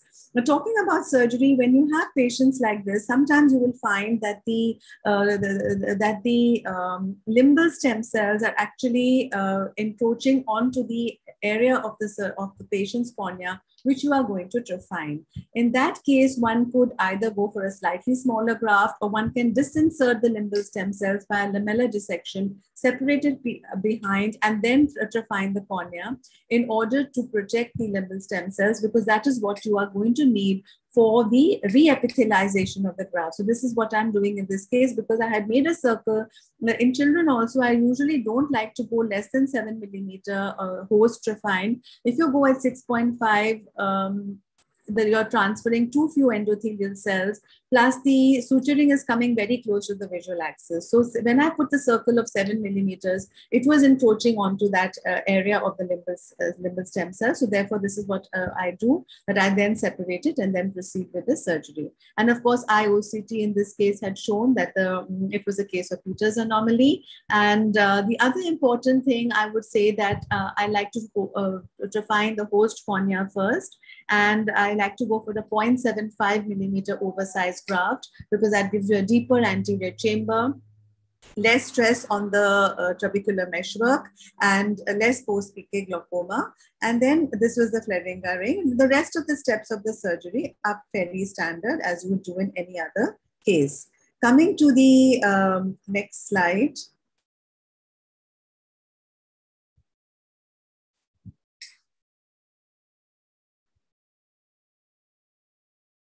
So um, you, you may have cases like this where uh, it is completely uh, opaque, the corneal diameter may be small, and some people have even recommended using keratoprosthesis in such patients if it is bilateral. That is a way that could be considered, but if you're going to have poor follow-up and the patient is going to come back with a graft infection, it can be quite devastating and the patient can end up losing the eye. So it's very important to try to give the chance for keratoplasty. One can even do limbal stem cell transplantation in a patient like this this, where you have a superficial vascularization one can initially do a limbal stem cell transplantation. If the patient has got a unilateral involvement, it is no problem. One can do a slet and then one can follow that with a keratoplasty. Sometimes in some patients with the slet itself, the vision can improve to a reasonable level so that you do not require the keratoplasty. If it's a bilateral case, then one can do either a head or autolo- uh, uh, allograft or one can do a conjunctival um, graft initially and then later one can proceed for uh, penetrating keratoplasty or anterior lamellar keratoplasty. So here's another example, trauma-induced corneal opacity. The patient had, the parent, my mother was well counseled, very motivated, came for a graft rejection, was successfully treated. And this is another example of corneal graft uh, um, transplant with regular follow-up. The other thing, this is example of what I meant when talking about the uh, uh, eye donation counselor. So we have a 10 month old child who required surgery. And here we see that the donor details are 25 year old. Now, normally in a case of electric shock, uh, it goes for a post mortem. But by communicating to the forensic team, the investigating officer, as well as the uh, family, that we have a child waiting, one can expedite and arrange for the eyes to be taken before the post mortem Sometimes the forensic teams are very adamant that they will not allow anything to be done before postmortem, but they are willing to conduct the postmortem outside working hours, as happens in AIIMS. The forensic uh, department in our hospital is, has had their own valid reasons for um, for this, but they do not mind coming at 10 o'clock or 11 o'clock at night and doing the postmortem. And here again, I would emphasize that we need to push for legislation to permit the um, uh, verbal consent of the investigative officer and the forensic department by, by, the state. So this can easily be done at the state level in the rules that in such cases, a verbal consent of the police and a verbal consent of the forensic department should be adequate to go ahead for uh, eye retrieval before postmortem where it is possible. Otherwise, we have to we have to push the, the forensic team that to please do the postmortem at odd hours. Here's another example, seven month old with an anterior segment dysgenesis. Here again, seven year old donor and uh, the dead preservation time was six hours again with a road traffic accident. So it involved a lot of coordination, a lot of hard work from everybody to run around and try to get the cornea in time.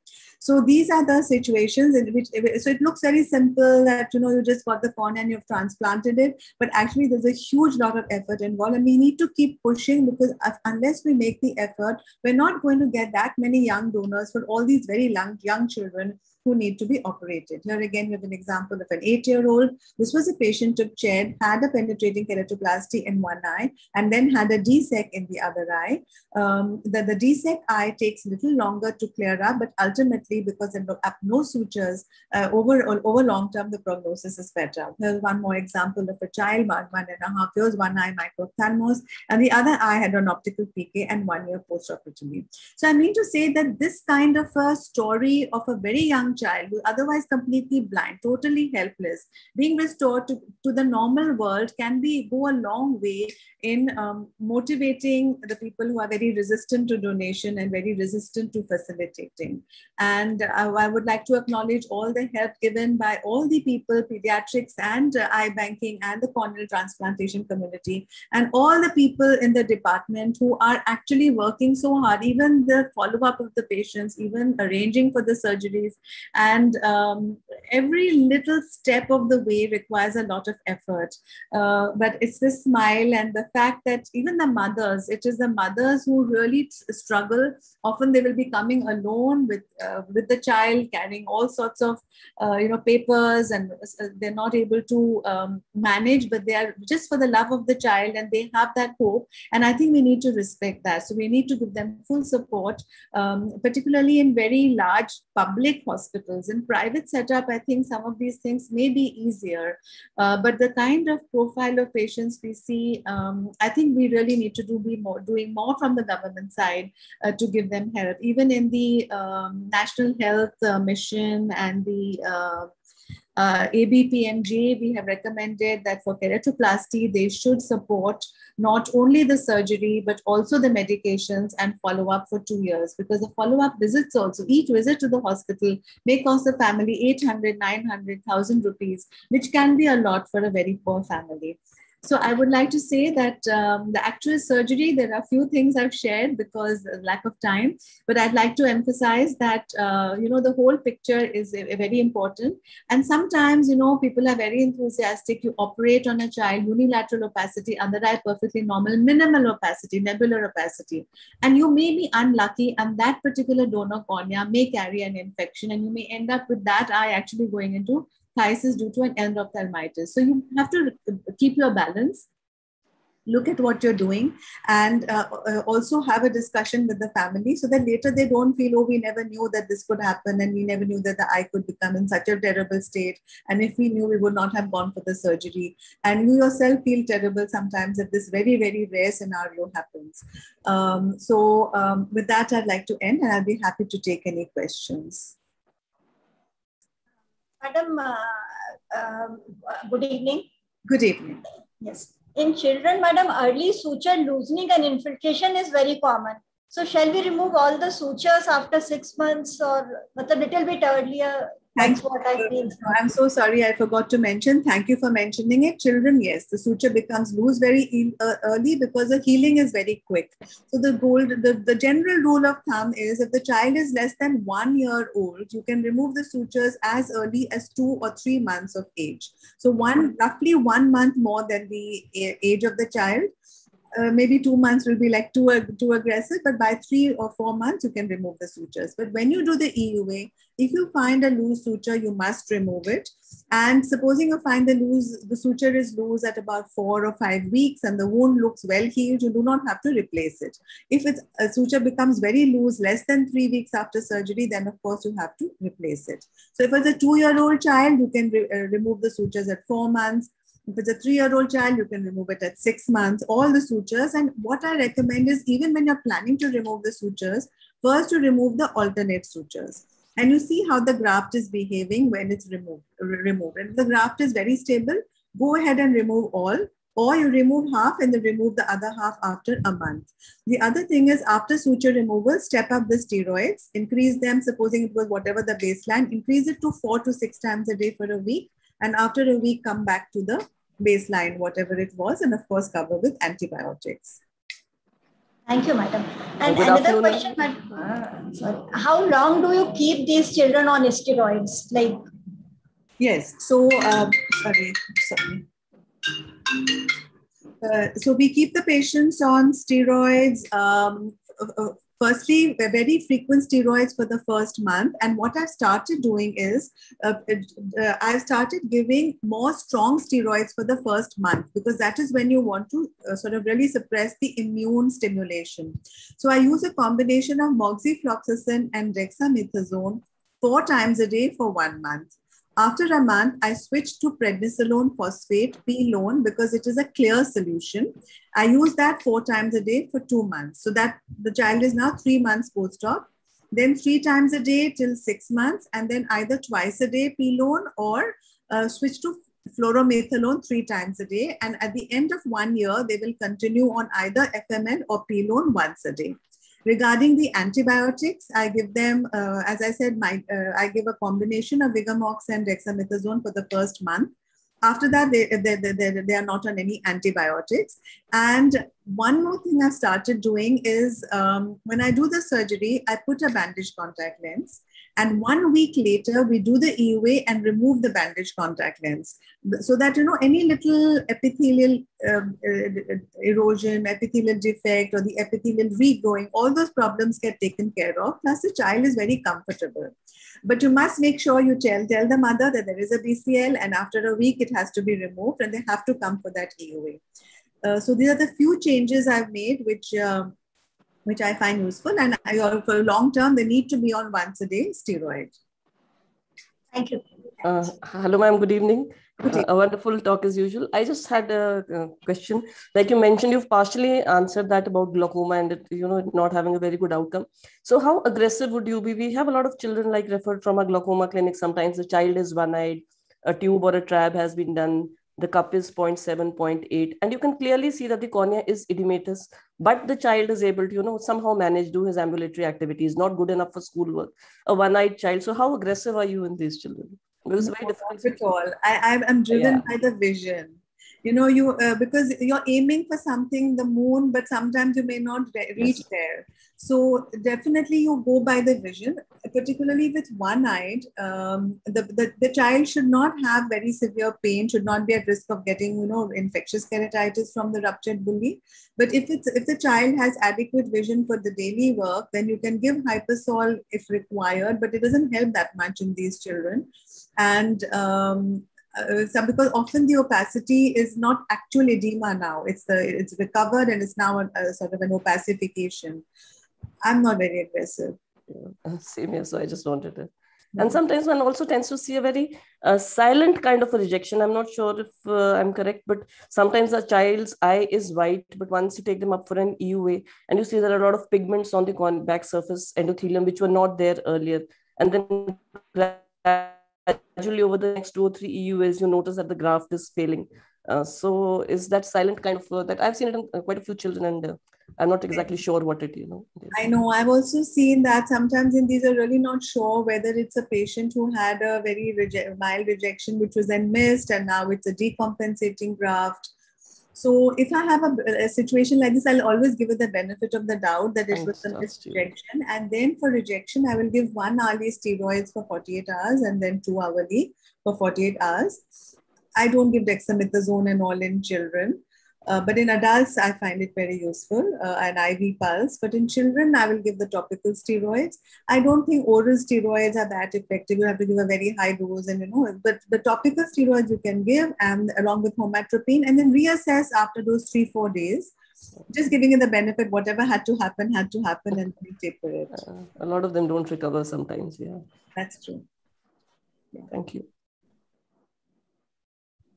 Uh, Ma'am, there is one question uh, from the audience. Yes. Can we plant a pediatric cornea in an adult patient? I think uh, they are trying to ask it uh, from the point of view of different yes, Quite right. Yes. So um, now th this is another thing. Generally, uh, corneas of children less than three years of age are smaller in diameter and low in tensile strength, and they tend to lead to um, they're more difficult to suture, so they tend to lead to more astigmatism or even a, a sort of a myopic shift. Having said that, if you have a patient who's one-eyed and that's the cornea you have, uh, then it, it, doesn't matter if there's going to be a little bit of astigmatism or if there's going to be a little bit of myopic shift. So you can use it, uh, but I would, if you have a child, it's always much better to use that pediatric cornea for a pediatric patient. Now, if you really see many people below the age of three, they would take it like we will not harvest the cornea. But if you have a child below the age of three, then certainly you can use that pediatric cornea. So this question would mean simple, can you use a question, can you use a pediatric cornea in an adult? You can, but these are going to be the problems. There's going to be difficulty in suturing. There will be a little myopic shift and also there would be more astigmatism. And you'll also have the feeling that why didn't I use it for a child? And can you take a pediatric cornea for donation below the age of three if you have a child? But then just don't take it and waste it. That should never happen. So if you feel you're not going to be able to use that cornea of a child less than three, then uh, you shouldn't, the eye bank shouldn't take it. And if you take it, then make sure you transfer it to some surgeon who will be able to use it. And one final question point on this topic is um, uh, when you, in case you're doing a DSEK and you're going to cut the tissue yourself, if the if, if the age is below 15 years again you may have difficulty in cutting the tissue and also being smaller it may not fit that nicely in the artificial anterior chamber. If you're planning a DSEK it's better to take it uh, if it's below above below 20 expect problems. Below 10 don't plan don't plan for using it for a uh, for a DSEK because you're likely to make a problem in the dissection. Uh, ma'am there is one more question what should be the minimum endothelial cell count for a pediatric transplantation? Uh, see, um, there's no such thing. Uh, basically, any cornea with a count of 2000 plus has adequate cells to survive. Naturally, you would like the more, the more, the better. So 2,500, 2,800, young donor, definitely this would be better. So one would like in a pediatric case that the donor age also should be within 15 to 20 years, but it's not always possible to get this. So therefore, um, you, uh, I would say the minimum should be 2000 for a, a, PK or an EK. In fact, for EK, people say it should be at least 2500. But routinely we are, we are having to use corneas which are even 2100 for EK and they do survive. So um, I would say minimum 2000, more the better. Uh, and the age is more important because the younger corneas, the, the, the, the, the endothelial cells are more resilient and they do recover. The tissue does recover. Okay. Thank you.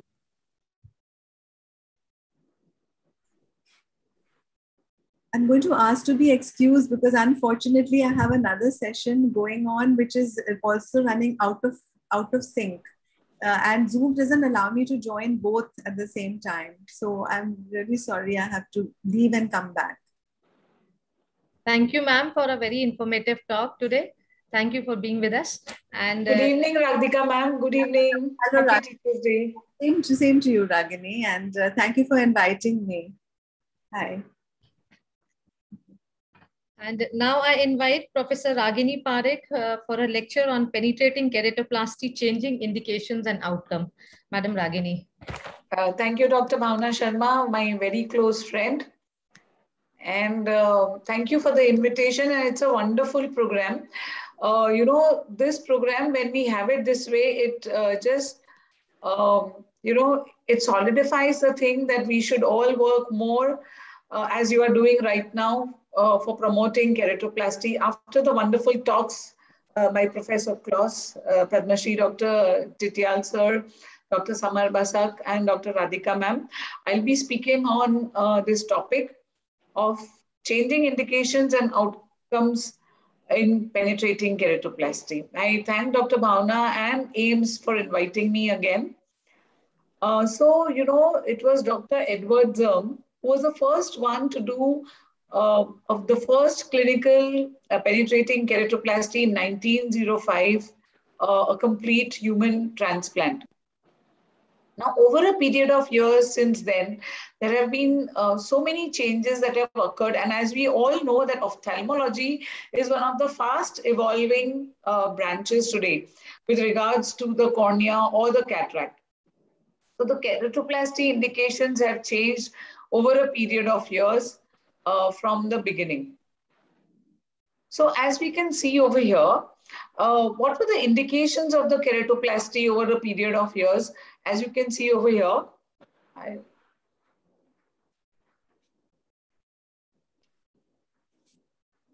So from 1983 to 1988, then to 1995 and up to 2000. So these are the various causes for which a penetrating keratoplasty was done. And that was pseudophakic bullous keratopathy, a regraft, keratoconus, Fuchs, scarred cornea, corneal ulcer, herpes infections, and aphakic bullous keratopathy. As you can see over here, that the pseudophakic bullous keratopathy remained at the top over a period of years, followed by regraft and aphakic bullous keratopathy in the past. So in the era prior to 1980, uh, the main indication for transplantation was corneal scarring. And then the era of cataract surgeries came with the implantation of anterior chamber intraocular lenses. Because of the anterior chamber intraocular lenses, as you know, the corneal endothelial touch caused the cornea to decompensate. And most of these patients came to us with pain, uh, with bullae, and we had to explant most of these lenses. And it, so 64% of the patients with PBK had anterior chamber lenses. From 1990 to 1995, the leading indication uh, was anterior chamber lenses uh, and the posterior chamber lenses were associated with 36.4%. Now, I remember starting, uh, I mean, beginning to learn phacoemulsification in 1990s. And one patient, I was caring for a patient so much and she used to bring me bananas every day, but she didn't realize that the corneal opacity that she has was caused by me trying to learn phaco, which is something that I confess. People may or may not confess, but this is what happened The posterior chamber lenses uh, increase at time and the percentage of PBK with posterior chamber lenses also increased to 65%. The use of anterior chamber lenses decreased and hence the percentage of PBK with anterior chamber lenses decreased. But that was also the phase where we were learning phacoemulsification and the damage due to phacoemulsification uh, emulsification must be kept in mind. From 2000 onwards, bullous keratopathy and regrafts were the cause of, of the uh, penetrating keratoplasties. The Eye Bank Association of America reported that from 1980, where 14,000, 1400 uh, were done, to 1990, where there were 36,000 uh, requiring to be done, which was an increase. So do we have the same set of patients and do we have the same indications as to why uh, these patients require penetrating keratoplasty? So if you do a global survey, geographically, uh, the, the environment, the workplace, the, the, the class and the style of the living conditions of the people may be responsible in the changing reasons why which we need penetrating keratoplasty. So as you see, uh, these are, you can divide them into seven areas. So in North America, the main reason would be uh, pseudophakic bullous keratopathy. You know, when we had done a course of SICS a few years back, uh, you know, I realized that SICS was not taught in the Americas at all, and they were learning SICS then. They started immediately with learning phacoemulsification after extracapsular cataract surgery. And learning phacoemulsification has a steeper curve and uh, you know more damage to the endothelium before you get acknowledged with the machines. That could have been the reason. Regraft because of graft failures, keratoconus and fuchs. South America, corneal scars because of injuries or infections, keratoconus, pseudophakic bullous keratopathy and regraft. Uh, this was the way, uh, and this was the order in which the indications were for penetrating keratoplasty. In Europe, keratoconus, pseudophakic bullous keratopathy and keratitis. Africa, keratoconus, keratitis and pseudophakic bullous keratopathy. In the Middle East, keratoconus, corneal scars, and pseudophakic bullous keratopathy. In Australia, keratoconus, pseudophakic bullous keratopathy, and regraft. Whereas in Asia, keratitis, pseudophakic bullous keratopathy, regraft, and corneal scars. Now, in our conditions, if you see the patients, and uh, even if you divide the patients into the urban and the rural setups, you find a lot of patients who are working in the rural setup. They have a lot of injury with vegetative matter or trauma while working. They come late to us so that early treatment is not possible. Most of these patients who come to us in the institutes, they come with a full-fledged corneal abscess or having treated um, the keratitis in various ways, either you know self-treatment or by quacks or self-medication, over-the-counter medication with steroids, which is very, very common and hence uh, requiring a graft. So, you know, the conditions in various areas of the world are different. The indications requiring keratoplasty and even in India, uh, the urban and the rural setup may have different indications. So in a in, at Wills Hospital, they said that pseudophakic bullous keratopathy remains the leading indication for corneal transplantation, uh, followed by a regraft. That was the case. The percentage has, uh, in, they said, increased significantly with PCIOLs. And I think with ACIOLs, it decreased because the use of ACIOLs uh, decreased. Corneal scarring, including adherent glaucoma, active infectious keratitis, are relatively more common indications uh, in India or in our country, whereas keratoconus, PBK, and Fuchs dystrophy are less common. Uh, then they are reported from the developed ones. Indications for keratoplasty carry a much poor prognosis for graft survival uh, which is more common in India than in the developed world because, you know, like I said, that the patients, there are more patients with active keratitis. It may be viral, viral which is treated with steroids or not treated properly, vegetative matter injury, uh, industrial injury because of lack of use of safety gear, and uh, just, uh, you know, pure lack of awareness of the eye health education. Uh, uh, you know, we have a lot of injuries we have a lot of injuries in children uh, because of uh, you know trauma with the bow and arrow or needle. So every day in our institute or in your institute, the emergency would be very busy with the trauma patients, especially uh, with large corneal tears uh, or cornea injuries, which later require a secondary surgery. So the current scenario, as we have been seeing now in the last few uh, talks, that of course penetrating keratoplasty in many cases or many indications has been replaced by DSEK, DMEK, and in keratoconus by DALK. So definitely the indications of penetrating keratoplasty have grown less and less because of the advantages of the lamellar procedures where the anterior chamber or the anterior segment uh, remains undisturbed. So definitely where there is the ability to do a surgery which can be done without opening the anterior chamber, that is preferred. So as we know that it is not the strongest of the species that survive, nor the most intelligent, but the most, but the one most responsive to change. That is the theory of evolution by the great Charles Darwin. So long-term survival after penetrating keratoplasty. So we have discussed the indications which are different in different areas, region to region, and in the same state from urban to rural. After the graft is done, as we've been discussing in pediatric age groups uh, with uh, Dr. Basak sir, and now the changing scenario with COVID, it is not only just doing the graft or let's say if you do a cataract surgery, follow up the patient on the seventh day, see him after a month, give him glasses and forget him for a year or two till he may or may not develop a posterior capsular opacification. Grafts require a careful follow-up and the, the success of a graft not only uh, is dependent on the surgeon, but the patient who may be lost to follow up, who may not put the drops properly because the long-term requirement of graft, the long-term requirement of drops, uh, early, uh, you know, coming back to the hospital in cases of redness because the patient may have a loose suture which acts as a nidus for infection. The patient may not turn up and it may be difficult for the patient to come and therefore there are so many factors on which the graft success uh, is determined. The common causes of uh, graft failure was endothelial failure because of the quality of eyeballs. Though Samar Basak sir said that, you know, and I think uh, it has opened our eyes to the elder eyeball, the elderly eyeballs. Uh, basically, you know, um, we, are, we were always scared because we always thought that the older the cornea, the lower the endothelial count.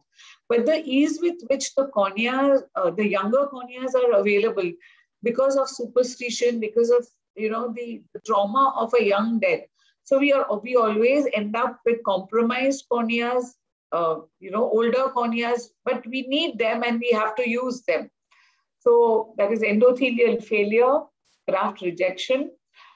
A first-time graft, uh, the survival with under optimum uh, circumstances was very good at 90% at five years and 82% at 10 years. So basically, you know, it also depends on the condition or the indication for the optical uh, or the therapeutic penetrating keratoplasty. Because in keratoconus, it's an avascular cornea. You have a clear cornea available. The anterior segment is not disturbed the survival rate of the graft is very good. And in Fuchs dystrophy also.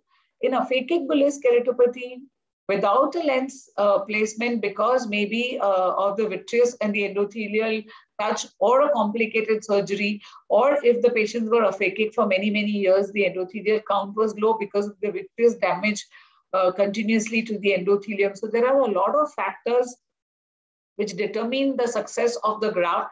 And like Dr. Radhika Tandon, madam was saying that it is not only in pediatric age groups, but the availability of a donor cornea is so less that once you have a donor cornea and once you have grafted, it is the duty of all of us to counsel the patient and ensure survival because uh, of the graft because for that patient, it is important. The regraft would be very dangerous. And the paucity of cornea that once the patient has been given a cornea, you would like to give uh, a second patient a chance. And hence, to ensure that each and every graft survives and you give optimum results is extremely important. After 10 to 15 years of penetrating keratoplasty, if the eye is quiet and if there are no further episodes of rejection, then it would be similar to a normal cornea and uh, corneal thickness increase and late endothelial failure would be then the main cause of graft failure. So as the endothelial count in that donor decreased, it, it would be like a decompensating cornea in any other patient. Tectonic and therapeutic keratoplasty for corneal infection and perforation, however, constitute a significant major portion of corneal transplantation performed in um, our country, in our state, and definitely they carry a graver prognosis in terms of life survival, especially because patients come very, very late.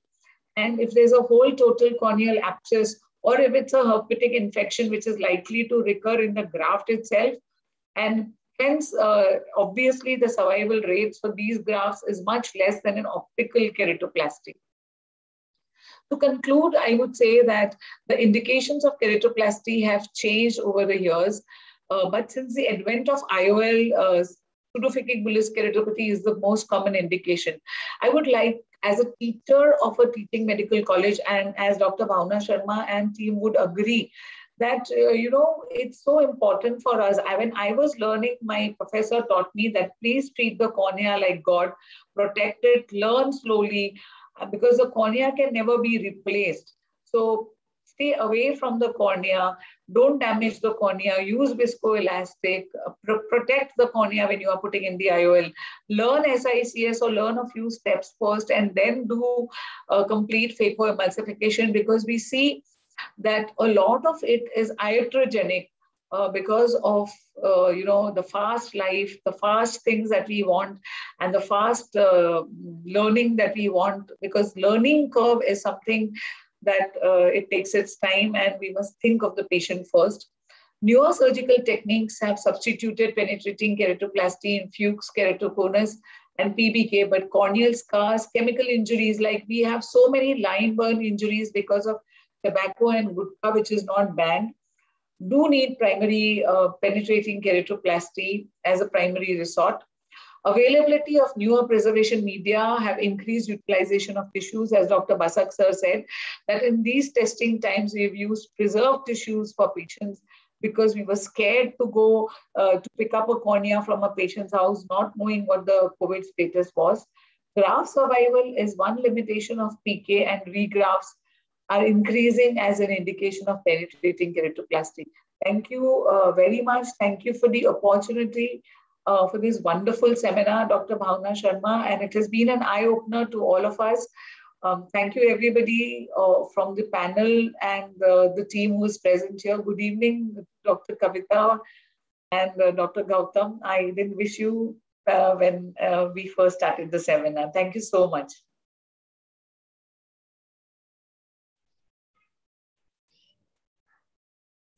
Thank you, madam. It was a very insightful and a wonderful talk as usual, madam, and uh, showing us the indication, changing indications and outcome in penetrating keratoplasty. So uh, we Thank are. Thank you so much, ma'am. We are open for any questions if we have. Uh, ma'am, we have one question from our PG, uh, Dr. Deepayan. Uh, yes. He's asking uh, if you can if one eye is enucleated uh, because of choroidal melanoma, can we harvest the cornea from that eye? So normally, you know, the indications are that, you know, if the patient has an ocular tumor and especially a malignancy, then you would not like to harvest or use the cornea, especially in a penetrating keratoplasty. So these are a few contraindications. And like uh, Dr. Radhika ma'am was saying is that, and as uh, I, am sure that all the residents are being taught that if you're not going to use the cornea and if there's a dilemma in use of the cornea, better, better not to harvest it so as to not waste and to disrespect the donor. Thank you, ma'am. I have one question for Professor Claus. That what is his experience of uh, of utilization of uh, corneas from elderly patients?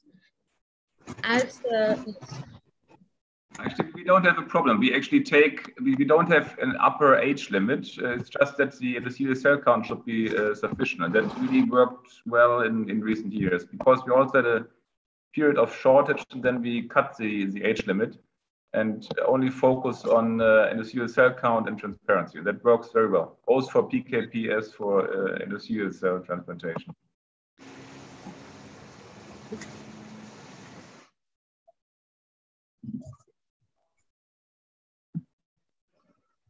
Do we have any more questions, Britendra?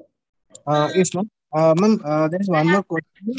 Or, I have uh, a question actually uh, to Professor Claus that uh, uh, do you have any experience or any uh, in vitro studies or any animal studies on uh, on biosynthetic stromal uh, implantations and uh, the cultured endothelial cell transplant into the for uh, endothelial dystrophy, sir? So, we have experience with uh, fish scale based artificial cornea. That sounds a bit weird, but we can use uh, the fish scale of, of tilapia and um, cut it and shape it a little bit with the, with the laser. And then it's pretty transparent. And we have just finished a, a prospective trial in uh, patients with a penetrating injury to use have, in settings where there is no donor tissue available to, to cover the eye. That works uh, very well. It's well tolerated, although it's fish, and it's a xenotransplant. And that may um, be one option for acute penetrating injury where you don't, where you don't have tissue available, because this is something you have you can have on the shelf. And uh, in the longer term, it may also be something which could be used as a carrier for for Kpro, for example, or eventually maybe as a replacement for uh, for PKP if we can find endothelial cells to cover it. But at the moment, it's uh, used only for acute penetrating injury to cover the eye, and then next step would be to use it as a Kpro carrier. Uh, I had a question for Professor Claus, ma'am, uh, Dr. Bhavna. Uh, do we have time? Please yes. go ahead.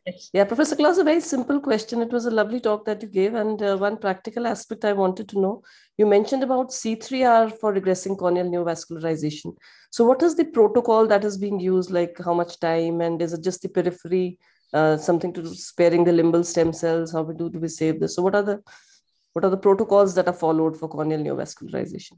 So actually, could use the standard uh, Dresden protocol, but what we uh, the last time we we used the, um, the, the, speed the speedy version basically we use the nine accelerated version we use the nine milliwatt and, and you just irradiate for nine minutes and uh, 10 minutes before you drop uh, the riboflavin eye drop. So in, in overall, it takes you just 20 minutes.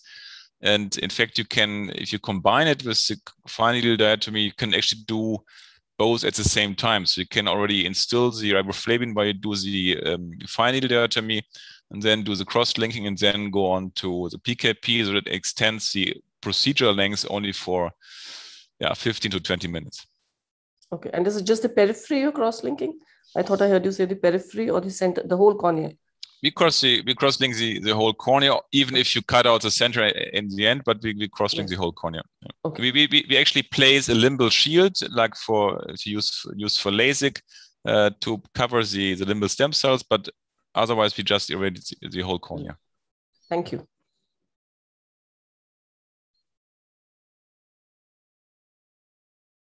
Uh, so there, there is one more question related to cross-linking from our residents. Does cross-linking increase survival chances in low-risk transplants also? Uh, that's a very good question. So we don't we don't know yet. Actually, we we just set up a, a study to, to answer this question. So I don't know. Maybe because we know that uh, cross-linking also destroys uh, immune cells, antigen-presenting cells. So you could expect that it also works in the lower setting, but we don't know yet. Good question. Thank you, sir. We will be looking forward to your research results. Thank you, sir.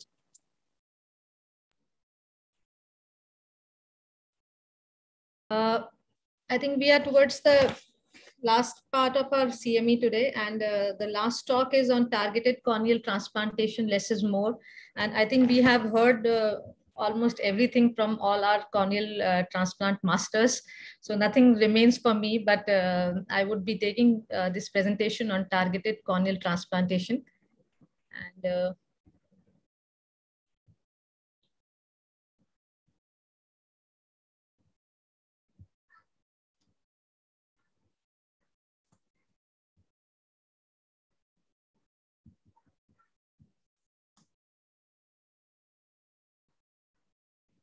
Is my screen visible?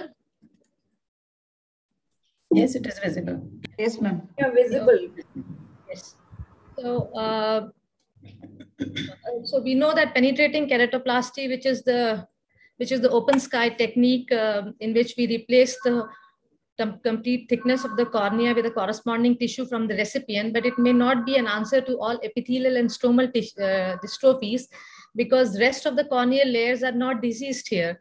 And similarly for ectatic and endothelial dystrophies also, the other layers are not uh, diseased except for the for the endothelium in endothelial dystrophies or maybe the stroma in the uh, ectatic dystrophies. So penetrating keratoplasty definitely is not an answer for these type of uh, disease conditions.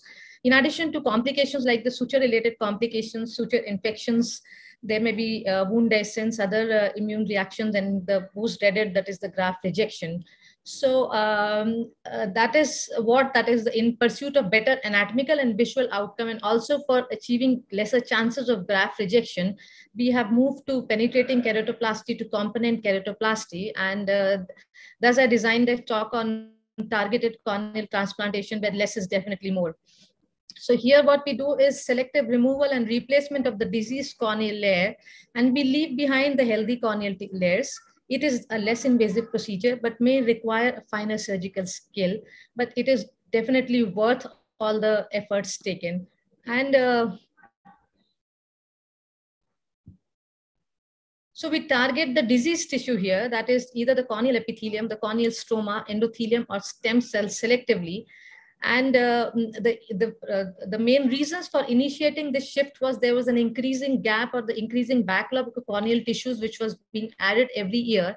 And also our ability to split the donor cornea into desirable thickness and uh, there was, of course, the quick post-operative recovery and better utilization of the donor tissue, and also the lesser chances of graft rejection. So evolution has been taken by Ragni madam from, uh, from the Reisinger to perform the first animal grafting to the Charles Tillett performing endothelial keratoplasty. We have come a long way from penetrating keratoplasty to targeted corneal transplantation. And once we want to start uh, lamellar transplantation or the targeted transplantation, it is good to know about the anatomical structure of the cornea, that is the epithelium, Bowman's membrane, the stroma, the thickest part, that is the 500 microns, and the important is the Descemet's membrane endothelial complex around 20 microns. So uh, this is a brief uh, overview. That is the lamellar keratoplasty can be done by two ways. That is the anterior lamellar procedures and the endothelial keratoplasty. Anterior lamellar mainly depending on the depth can be superficial anterior lamellar or the deep anterior lamellar keratoplasty and the endothelial is mainly the DSEK and the DMEK. Uh, depending on the technique used or the machine used, they can be automated uh, microkeratome assisted uh, anterior lamellar keratoplasty and uh, similarly for uh, for the endothelial keratoplasty and also the femtosecond laser assisted shaped corneal transplantation. So this is what we are targeting in penetrating keratoplasty. As you can see the A, A image where you are removing the whole of the cornea. The B is the superficial anterior lamellar keratoplasty where just the 160 microns tissue is removed. The C is the deep anterior lamellar keratoplasty where removing the 95% of the cornea here and uh, the, the DMEK and the DSEK that is the endothelial keratoplasty which are targeting only the, uh, the Descemet's membrane endothelial complex. And the indications are more or less similar to what the PK, that is the optical indications, tectonic and therapeutic mainly. So the optical uh, we can do for scars, uh, most common which we, which we see in our scenario is traumatic and post-corneal ulcer scars, the herpetic scars, post-herpetic uh, scars, surgical trauma because of chemical injuries, dystrophies, it can be epithelial, Bowman's membrane or stromal dystrophies, degenerations and ectasias like keratoconus, which are one of the important indications, and of course, post-refractive ectasias. Tectonic mainly done for descematocele, PMDs, uh, marginal degenerations, and many causes of PUKs. And therapeutic, we know it is one of the commonest indication for doing uh, keratoplasty in India is the infective, that is the post-infective keratitis cases. And we can do it for tumors, dermoids, and inflammatory cases. So the anterior lamellar keratoplasty first, that is the superficial where we just target uh, the superficial 160 microns and the deep where the 95% of the tissue is targeted around 1, 495 microns is removed. The superficial anterior lamellar keratoplasty is reserved for very superficial uh, lesions like Reis-Bücklers or Salzmann nodular degeneration. We just remove the superficial layer. And uh, the advantage here is that in case of recurrence of the same disease in the graft, you still have the chance to do a DALK in those patients. The deep anterior lamellar keratoplasty mainly done for the stromal dystrophy, mainly the granular, the lattice dystrophies, the stromal scars and the corneal ectasias, keratoconus being one of the important indications. And also the surgical technique, uh, I would like to start with the big bubble technique. That is the, uh, the big bubble technique. Uh, it involves the partial trephination of around 65% depth of the cornea and later on debulking this, uh, this superficial layer and we create a big bubble between the rest of the corneal stroma that is the 50% depth of the corneal stroma and the Descemet's membrane. And once the big bubble is created, uh, the brave slash and we remove the, the, the overlying uh, stromal tissue from the Descemet's membrane. And this is the glistening, the figure, the, uh, the figure E, which is the very glistening Descemet's membrane, which shines through, and we can replace a correspondingly sized graft and suture it with the 16 interrupted sutures or the continuous sutures. Other techniques which have been described is the viscoelastic dissection in case of failed big bubble and uh, we dissect with the help of viscoelastic and uh, into the deeper layers. Uh, other techniques which have been described are the hydrodelamination, the manual layer by layer dissection in cases of failed bubble, the air assisted manual, uh, manual dissection and the air guided deep stromal dissection technique of the Melles. Uh, the microkeratome assisted technique, the advantage is that we get a smooth edge both for the recipient and the donor. So the interface scarring and irregular astigmatism in the postoperative period is fairly less. It gives a smooth central host bed, though the instrument, uh, the overall instrument cost would be more in such patients. And uh, transplanting the, uh, the donor cornea, we just remove the Descemet's membrane and transplant it with the interrupted suture. This is uh, one of the surgery videos, which was a scarred anterior, uh, the deep stromal scar present in this lady, and we do, uh, tried doing a big bubble. Later on, we completed the procedure with the manual dissection. So centration of the centration of the, the disease and marking with the trephine, the vacuum trephine is applied and after getting the adequate trephination of the tissue that is up to the 65% depth, we start debulking the anterior corneal layers. We debulk the anterior care, uh, corneal layers very carefully in these patients, especially the scarred patients, because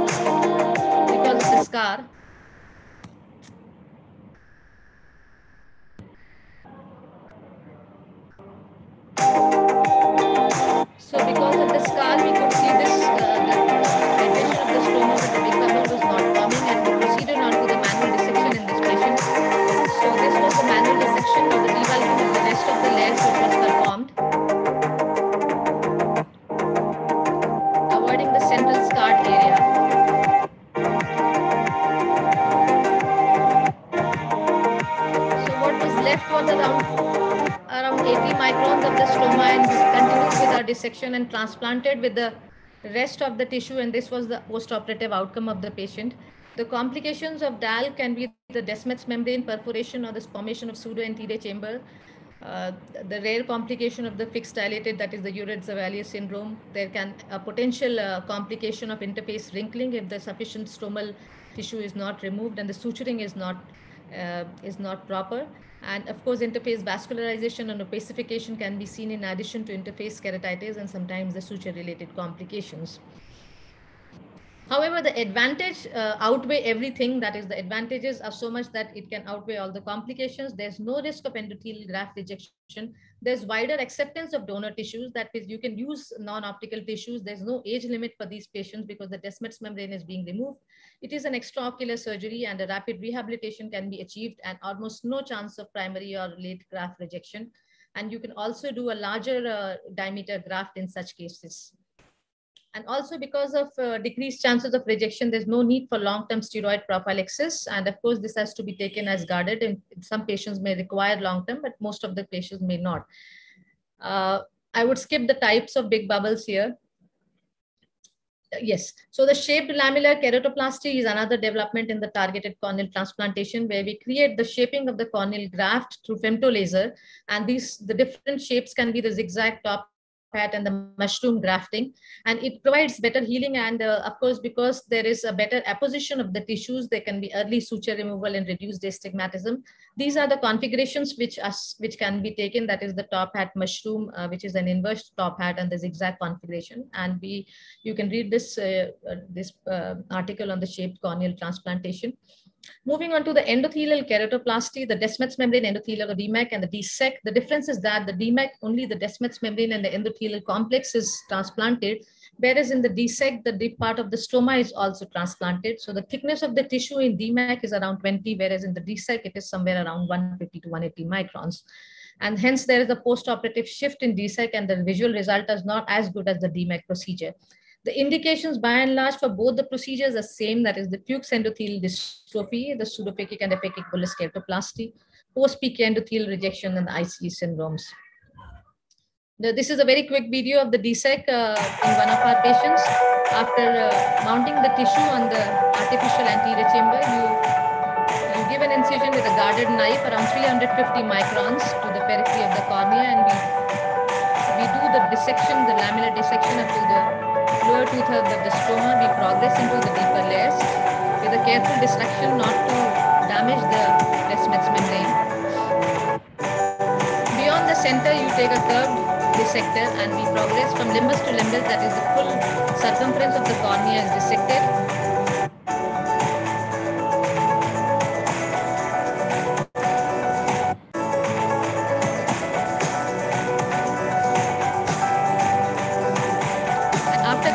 Completing the dissection, you remove the tissue, taking care not to cause the pulsing of the Descemet's membrane and the consequent perforation in such cases. The very careful removal of the tissue is done. And we define the adequate size of the donor tissue. It is it is around for the DSEK it is around 0.25 to 0.5 microns less than what we are stripping the recipient. Adequate size stripping is done.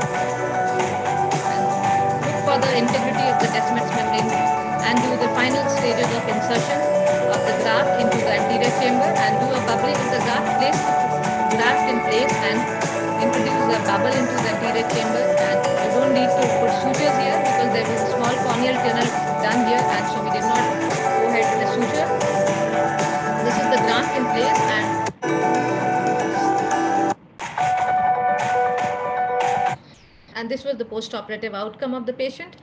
The ultra-thin DSEK also, that is the DSEK, which is, uh, it is something between the DSEK and the DMEK, that is the procedure is uh, done by utilizing around less than 100 microns of the tissue. The stromal layer is further less as compared to the DSEK, so the uh, post-operative hyperopic shift is less in these cases, though the visual uh, outcome would be comparable to DMEK. So the Descemet's membrane endothelial keratoplasty was beautifully shown by Dr. Samar Basak and uh, the stripping of the Descemet's membrane from the recipient is same as the DSEK.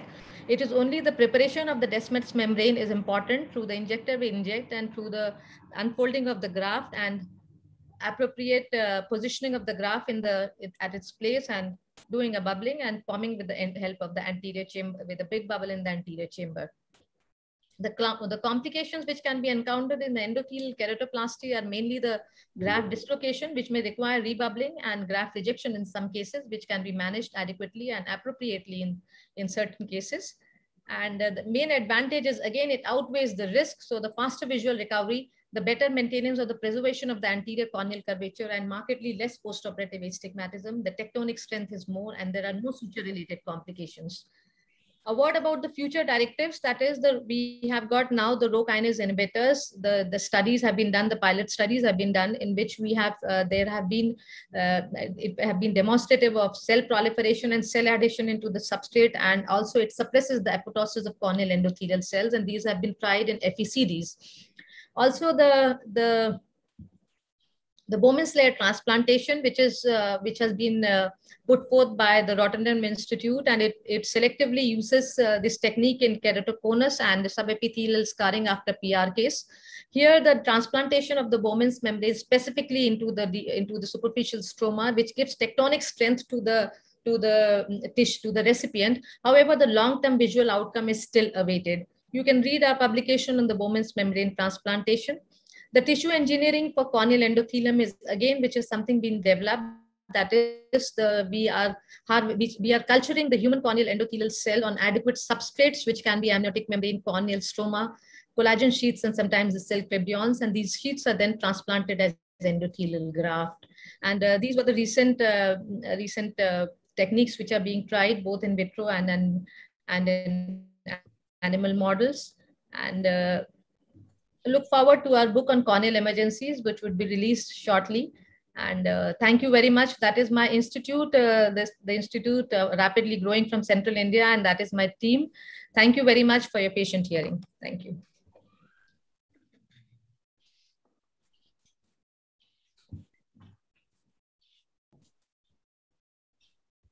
Yes, I think we are to, uh, we have concluded all our sessions. If we have any more questions, we can take.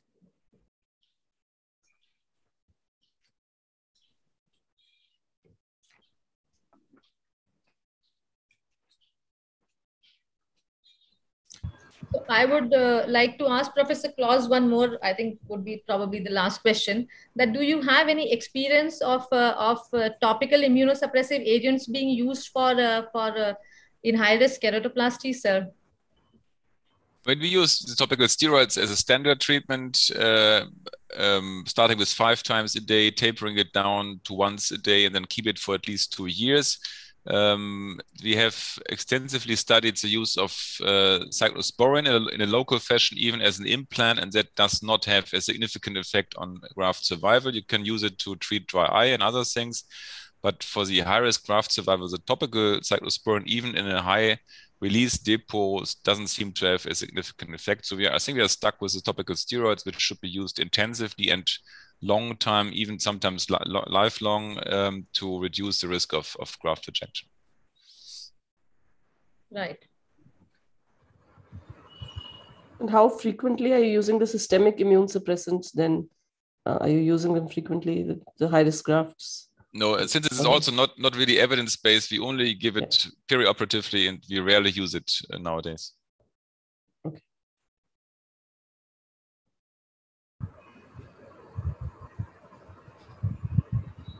Right. So uh, since we do not have any more questions and we have completed all our talks and uh, I now request Dr. Saroj Gupta to please propose the vote of thanks. Thank you, Madam. So on behalf of Department of Ophthalmology, AIIMS Bhopal, I express my sincere gratitude to the guest of honor, Professor Sarman Singh, Director and CEO AIIMS Bhopal, for sparing time out of his busy schedule to join us and grace the event. And thank, thanks for uh, his encouraging words. And he has always been very encouraging and supporting us to organize such events. My special thanks to Professor Claus for sharing his experience on newer options in high-risk keratoplasty, especially the techniques to deal with corneal neovascularization, the fine needle diathermy, and the uh, cross-linking. So we are honored to have you with us. I extend my gratitude to Professor J.S. Titiyal, Chief of R.P. Center, AIIMS Delhi, for his enlightening talk on newer norms in eye banking and keratoplasty in COVID times. It gives us immense pleasure to have learned a lot from such a proficient personality. I would like to thank Professor Radhika Tandon for sharing the key points and challenges faced in uh, keratoplasty in children. And we learned a lot from her talk. It was very informative. My sincere thanks to Dr. Uh, Samar Basak for uh, his thought-provoking talk on efficient utilization of donor cornea uh, uh, during the shortage of the tissue during COVID times.